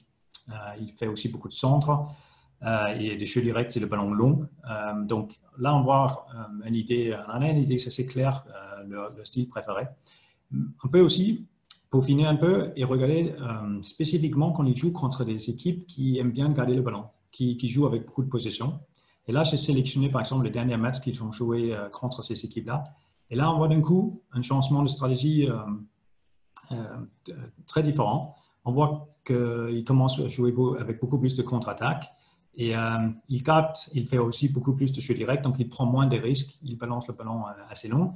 Et pas du tout de récupération haute. Ça veut dire qu'il reste bas et il attend le contre et il essaie d'attaquer comme ça. Donc ça permet assez rapidement d'identifier de, le style préféré de, chaque équipe par rapport à l'adversité. Maintenant, ça c'est une intention de jeu. C'est pas forcément euh, la façon qu'ils sont plus efficaces. Donc, on peut aller un peu plus en détail et dire que, mais euh, ensuite regarder euh, par rapport à ces différents styles, mais quelle est l'efficacité? Combien de fois ça, mène à un tir? Combien de fois ça mène à un, but? Par exemple, on voit sur le contre-attaque, il crée à peu près deux tirs par match, et ça, c'est le moyenne ligue. Donc, c'est bien au-dessus de la moyenne ligue, mais surtout, sur le but, on voit que c'est presque quatre fois, c'est quatre fois plus que le moyenne ligue en termes de buts marqués sur le contre-attaque. Donc là, on voit l'aspect euh, efficacité. Il peut bien, bien, avoir une intention de jeu, mais ce n'est pas forcément comme ça euh, ils sont dangereux. Euh, on peut faire la même chose sur l'aspect défensif. On voit comment ils, sont vulnérables. C'est à partir de, de, jeu direct, par exemple ici, on voit qu'il encaisse plus de buts que le moyen ligue sur le jeu direct. Donc ça permet vite de situer l'équipe par rapport à, à leur force et faiblesse. Le, dernière étape, c'est de regarder quels sont les joueurs qui contribuaient à ce style de jeu. Par exemple, là, on voit que ces deux joueurs-là, euh, Thomason et, Lala, ils participent énormément dans le jeu offensif. Par exemple, dans la phase de domination haute, c'est ces deux joueurs qui, euh, qui jouent, le, euh, qui ont plus de contributions. Aussi sur le jeu rapide, ça veut dire qu'il fait passer le ballon vite entre eux, mais aussi, par exemple, dans la phase de contre-attaque. les distances en conduite, on voit que surtout Lala, il, il est c'est vraiment un, un parti qu'il pratique beaucoup. Et aussi euh, les différentes passes dans la phase de, euh, contre-attaque. On voit ces deux joueurs-là sont importants aussi. Et aussi pas pour le centre, c'est là, il, est, joue sur le côté. Donc, on voit vraiment euh, qui participe le plus dans ces différentes phases de jeu. Et bien sûr, dans le logiciel, c'est lié à la vidéo. Donc, on peut toujours visionner ça après. un autre modèle, c'est le Expected Possession Value. Et euh, vous connaissez probablement déjà le expected goal value. Et euh, le problème avec ce modèle euh, expected goal value, c'est qu'il regarde seulement les tirs. Ça veut dire on, regarde les tirs, on regarde la probabilité de marquer sur un tir. Et le problème, c'est qu'il n'y a que à peu près 15 tirs par match par équipe. donc, ce n'est pas un échantillon très élevé. Donc, ça veut dire que c'est difficile à vraiment décrire le jeu d'une équipe avec seulement 15 situations. Donc, ce qu'on souhaite faire, c'est d'inclure beaucoup plus d'actions. Donc, on a développé cet euh, euh, indicateur-là qui regarde tout simplement chacun des, passes et ça va faire une estimation de euh, l'augmentation de la probabilité de marquer un but pour chaque touche de ballon, chaque passe dans ce match. Par exemple, on voit là, le joueur il reçoit le ballon dans le zone 18 et à la fin, il le met dans le zone 31 et il a augmenté la probabilité avec 0,12 points de marquer un but. Donc, ça veut dire qu'on peut cumuler ça à la fin de match pour voir quels sont les joueurs qui créent plus de danger. Euh, quel était le, les, les scores attendus de, l'équipe par rapport au danger qu'ils ont créé. Mais pas seulement en utilisant les 15 tirs, mais en utilisant le plus de 500 passes qui est dans le match, qui est un indicateur, beaucoup plus riche et, qui est plus solide quand on va faire ces, prédictions-là. et la manière de l'utiliser, bien sûr, on peut le lier à la, à, le playing style et regarder, OK, si on regarde par exemple dans la phase de possession, mais qu'est-ce qu'on a euh, construit comme euh, euh, possession value sur le contre-attaque? Est-ce qu'on a, on a construit beaucoup de dangers? Qu'est-ce qu'on a réellement effectué? Qu'est-ce qui est le moyen de ligue? Ça permet vraiment de mettre le contexte, tout ça en contexte, beaucoup mieux que seulement regarder le, tir de but. un troisième modèle que je vais vous montrer, c'est le, pattern analysis. Et vous connaissez peut-être déjà le, le circuit préférentiel qu'on voit ici. Le problème avec ce modèle, c'est que ça regarde seulement un passe entre deux joueurs et ça cumule cette passe-là, mais hors contexte. Donc, pas forcément, on n'a pas forcément l'idée de quel est le circuit qu'il euh, fait comme passe. Donc, pour ça, on a, on a développé ces, euh, patterns-là où on regarde euh, en gros quatre possessions séquentielles. Ça veut dire on, on, construit des, des, patterns et on peut les lier à cette expected possession value pour voir quel est le pattern qui crée plus de danger. Et là, on regarde par exemple le Liverpool on voit que ces, ces patterns qui créent plus de danger, c'est vraiment les patterns en verticalité, c'est vraiment un, jeu bien particulier de Liverpool euh, qui joue rapide vers l'avant. Mais on voit, on isole euh, rapidement ces patterns qui, euh, qui, apportent vraiment des dangers. Et juste pour expliquer comment on a fait ça, c'est qu'on a, on a segmenté le, terrain en différentes zones. Et si, par exemple, un joueur, euh, une équipe, il a le ballon dans zone 3, il souhaite aller vers la zone 8. Mais si on regarde toutes les, passes, ça ressemble à ça. C'est un peu difficile à, voir les, patterns là-dedans, mais nous, on a, appliqué justement ces modèles euh, AI et on a identifié les différents euh, patterns. Par exemple, ça c'est un exemple ici. Un autre exemple, c'est ça. Et donc, on a groupé toutes ces différentes clusters euh, euh, et ça, donne des patterns qu'on peut appliquer à n'importe quelle équipe. et donc, par exemple, dans le logiciel, ça ressemble à ça. Je sélectionne une équipe, par exemple Lyon. On voit que Lyon, il aime bien attaquer là sur le côté droit. Donc là, on voit vraiment les quatre patterns les plus dangereux de Lyon. C'est clair, c'est sur le côté droit. Et là, on voit ça, le, le pattern qu'il utilise le plus, ça arrivé 22 fois. Et ça a créé presque deux buts euh, en, attendu, en espéré. Et euh, après, on peut aller un peu plus en détail. Et pour étudier euh, ces situations-là, je vais dans le module et là, je peux étudier ça. Et, toujours dans une situation comme ça, on peut filtrer par rapport à justement l'expected possession value pour voir les situations les plus dangereuses. Et, et, là, je peux sélectionner par exemple un pattern et là, je vois les, les séquences qui derrière cette pattern. Et, et ça, ça, me permet de voir une visu beaucoup plus, euh, plus simple. Je peux aussi sélectionner les joueurs que je veux inclure dans ce pattern-là. Donc, ça va isoler, par exemple, seulement le pattern où Awa participe. Donc, on voit euh, tout de suite que c'est quand ça part de, l'intérieur. Une autre requête on, a souvent, c'est de, de, voir comment l'équipe joue euh, quand il sort le ballon de derrière. On fait quand il sort le ballon dans la conservation de base, est-ce qu'il y a des patterns bien particuliers euh, là, je vais sélectionner l'ensemble des patterns, donc ça ne va pas vraiment donner de sens, mais ça vous montre bien le, la façon de, trouver des choses intéressantes. Là, je vais mettre un, euh, filtre de pressing là-dessus. En gros, ça veut dire beaucoup de pressing et, euh, et jaune un peu moins, mais je le mets en pressing haute. Et d'un coup, je peux isoler les patterns où il, a eu, ils ont reçu beaucoup de, de, pressing. Là, je vois effectivement sur le côté droit de Lyon, mais c'est là où l'équipe, euh, les équipes aimeraient bien presser. Probablement lié au fait qu'ils sont un joueur qui, euh, qui prend des risques dans ces situations, dans cet endroit-là. Et, ça mène euh, peut-être à des situations dangereuses. là, je vois aussi un heat map des niveaux de pressing. Donc, ça peut vraiment construire un plan jeu qui permet d'identifier les forces et faiblesses de l'équipe par rapport à, les pressing excessifs.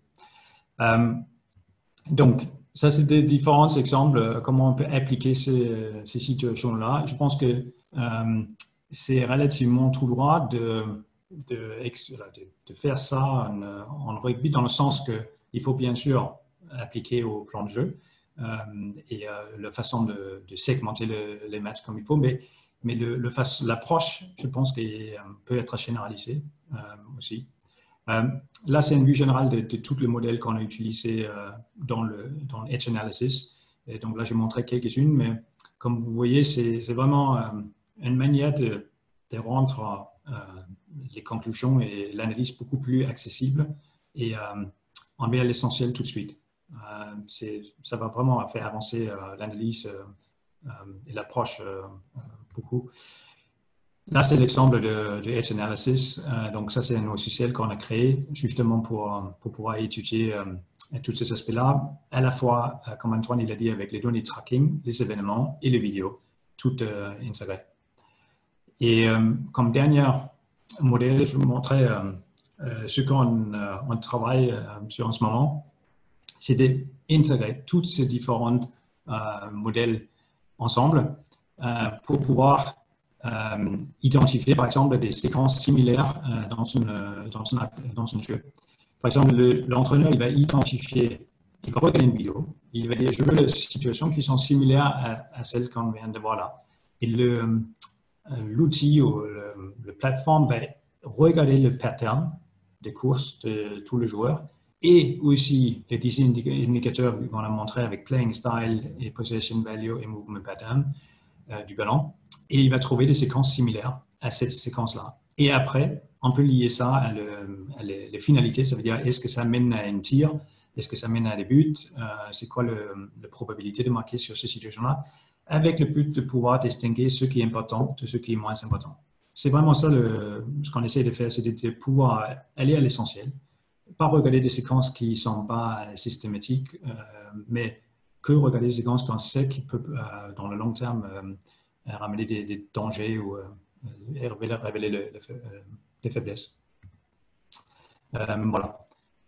une autre manière, si on va appliquer ça plutôt dans un contexte de médias, c'est c'est vraiment l'intégrer dans l'écran. Euh, ça veut dire que si on imagine, on regarde le match de foot et on peut cliquer sur chacun des joueurs pour avoir des informations supplémentaires. Parce que nous, on, traque les joueurs et plus en plus de ces informations-là, il, va il va être disponible en temps réel. Donc, on peut donner cette information-là euh, en direct. Et donc, euh, ça, c'est un autre élément qu'on travaille. Et on voit qu'en fonction de, du joueur qui récupère le ballon, ça met à jouer tout le temps, les joueurs clés. Voilà. Ça, c'était euh, tout euh, de ma part. Merci euh, Jens et, Antoine. on va enchaîner par les, questions. La première qui nous vient de Corse avec Doumé. Doumé, tu m'entends?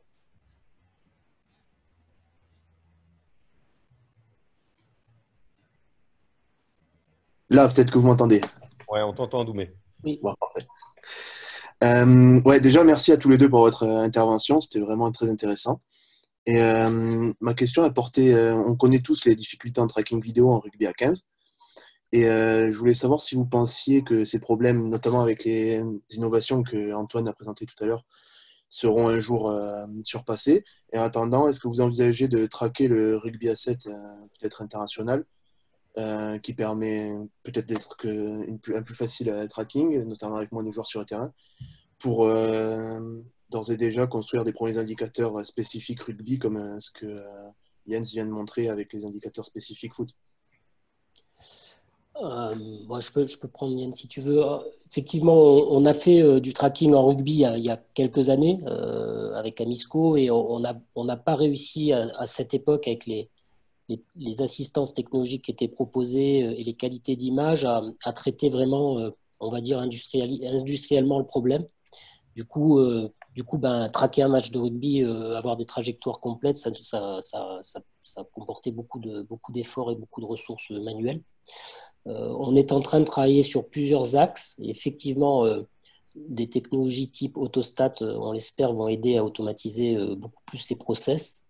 Euh, en attendant, on regarde aussi les données GPS, puisque bon, il se trouve qu'on n'en a pas parlé dans la présentation, mais on, a aussi développé des technologies GPS qui commencent à, avoir des fréquences euh, beaucoup plus importantes et, plus de précision, même si pour l'instant on n'est pas encore dans, des précisions euh, que, comme le propose le tracking optique. et, parallèlement, on, parle avec la Fédé pour le portage de plutôt des modèles type playing style ou, ou pattern de, jeu, puisque eux se basent sur les événements et peuvent enrichir le process d'analyse sans forcément attendre d'avoir le tracking optique disponible en rugby. Ouais, j'aimerais bien souligner que les trois modèles que je présentais là se basent tous sur les événements. D'accord, merci. J'ai une autre euh, question euh, personnelle, moi. Euh, je voulais savoir, c'est vrai que ça fait longtemps, Antoine et, Jens, qu'on se rencontre par rapport, ça été au début avec Amisco. Vous avez un regard quand même un peu transversal sur, sur de nombreux sports. Hein. vous le montrez aussi dans votre, dans votre présentation. Comment a évolué au fil de ces années les relations que vous pouviez avoir avec les staffs J'entends avec les coachs, les analyses de perf, prépa physique, vraiment l'intégralité du staff. je pense que ce qui est passé ces dernières années, c'est que je pense qu'il y a une réelle évolution vers. en fait, c'est plus facile à se connecter à un coach aujourd'hui qu'il y a 10-15 ans. Dans le sens que les modèles permettent de, de, créer des indicateurs qui, utilisent un vocabulaire qui est plus proche du terrain. Et, euh, par exemple, le, framework euh, Playing Style, là, on regarde d'un coup les, différents euh, concepts qui existent dans le monde de l'entraîneur, qui n'est pas trop technique. Et, ça, je vois que c'est grâce au fait qu'on utilise des, des, des modèles et des, intelligences artificielles, on, arrive à créer des, des, indicateurs qui, font plus de sens. Et, je pense que la direction, ça va vraiment vers une agrégation, parce qu'on voit souvent que c'est quand on mélange ces différents modèles, on arrive à bien décrire le contexte, et d'un coup, ça fait plus de sens pour un entraîneur. donc, ça va plutôt même si c'est très complexe, ça va vers une simplification et ça rend les, les les, l'analyse plus accessible en fait. Juste pour compléter, euh, Vincent, en fait, c'est effectivement euh, le fruit de l'évolution. On, y a contribué, mais pas, que nous. Euh, en fait, on, a cru pendant longtemps que c'était, il fallait juste plus de données, plus de, données profondes. Et en fait, on se rend compte aujourd'hui, avec les apports de l'intelligence artificielle notamment, qu'il s'agit de reparler beaucoup plus de, choses pertinentes, essentielles. Donc, en fait, un modèle PainStyle peut agréger derrière 500 statistiques, mais au final, sur 8 variables qui parlent plutôt euh, football euh, que statistiques. Et en fait, c'est par le décloisonnement, on pense, euh, de, ces, de ces mondes. Hein. Il y a eu vraiment le monde statistique d'un côté, vidéo, analysis de l'autre, fitness, athlète monitoring encore avec les GPS de l'autre. Et on arrive aujourd'hui à avoir des réponses intégrées qui sont beaucoup plus rapides euh, que quand on a euh, bah, tout à coder à la main. Euh, sur des échantillons statistiques beaucoup plus importants, donc on arrive à faire des comparaisons entre les équipes dans une ligue et ce genre de choses, voire à l'international. Et donc, on, ça facilite beaucoup les échanges parce que plus on répond de manière fine, pertinente et plus, rapidement, et plus on, crée de la dynamique au sein des staffs et, on l'espère entre, entre les staffs et les joueurs. Merci Antoine et Jens. Euh, de votre intervention et merci euh, aux deux autres, Germain et, Jérémy. Euh, juste pour synthétiser, mais je, crois que vous m'avez fait la passe, on va pouvoir dire Antoine et Jens. c'est vrai que depuis quelques années, on a de plus en plus de data, des outils technologiques qui sont de plus en plus pointus. Et on se rend compte qu'en fait, pendant un, long moment, en tout cas sur le rugby, on avait tendance euh, des fois à un petit peu cloisonner toutes les parties, euh, l'aspect statistique, l'aspect euh, terrain, prépa physique. Et de plus en plus, on est dans simplifier les outils, simplifier les données pour coller à la vision du coach et à son, et à son projet de jeu. aider, encore une fois, les joueurs à être les plus performants possibles euh, dans un cadre et, dans un environnement. Et, euh, je crois que c'est le plus complexe. Euh, vous les aidez, vous aussi, à, à, simplifier ces données. Et puis, aussi, ce qu'on a connu, c'est une nouvelle génération aussi de coachs qui étaient plus à l'aise, je pense, avec tous les outils technologiques puisqu'en fait, on se rend compte qu'aujourd'hui, des entraîneurs ou un staff passent souvent plus de temps derrière un, ordinateur avec des logiciels, des vidéos, qu'au bord, au bord du pré. Voilà, je vais maintenant laisser la main à Julien pour cette, ce webinaire. Très bien, vous m'entendez? Parfait. Euh, on est parfaitement à l'heure, encore une fois. Bravo, euh, bravo à tous, bravo euh, à, tous les intervenants pour, pour, pour la les présentations que vous avez faites, les synthèses que vous avez dû faire, parce qu'en effet, l'objectif, c'est de, pouvoir faire passer le message dans des temps assez courts, vu, la période actuelle, et, je vous en félicite. Il me semble qu'on a pu avoir des interventions très complémentaires euh, très différentes, mais, mais, aussi très complémentaires. Et comme, comme l'a dit Vincent, euh, on voit bien que dans ce champ de compétences, ce domaine euh, qui est la performance sportive, l'expertise fait loi. C'est-à-dire que c'est vraiment l'expertise dans la capacité à analyser des situations complexes que justement on va pouvoir voir émerger des questionnements, des interrogations qui, elles, en effet, pourront euh, être objectivé par euh, tout un tas euh, de technologies nouvelles, d'analyses nouvelles et de techniques. Et, je pense que ça, c'est le premier point. Et puis le deuxième point est, une très belle illustration des, de, on va dire des, projections, même si ça a l'air d'être une réalité, en tout cas dans le foot, c'est cette capacité à simplifier et à optimiser le temps. En effet, on est tous contraints par le temps, surtout dans le sport de haut niveau. Et donc, du coup, euh, comment euh, l'analyse de la performance et les technologies qui, arrivent vont, faire gagner du temps à ces coachs pour prendre des décisions euh, les plus pertinentes possibles, que ce soit dans des situations stratégiques ou, en termes de, de, valorisation et transfert sur le terrain à, l'entraînement. Donc, je vous remercie encore une fois. J'espère que pour nous, pour, pour tous ceux qui ont pu participer à ce, à ce, à ce webinaire. Euh, euh, ça va justement permettre d'imaginer euh, des, des, futures perspectives à tout ça et qu'on on soit aussi dans un esprit d'innovation très moteur. En France, on a les compétences et qu'on puisse poursuivre ce, parcours pour justement être de plus en plus pertinent dans ce champ de la performance. Euh, je vous invite donc euh, à, à, nous retrouver euh, la semaine prochaine, même horaire, 16h30.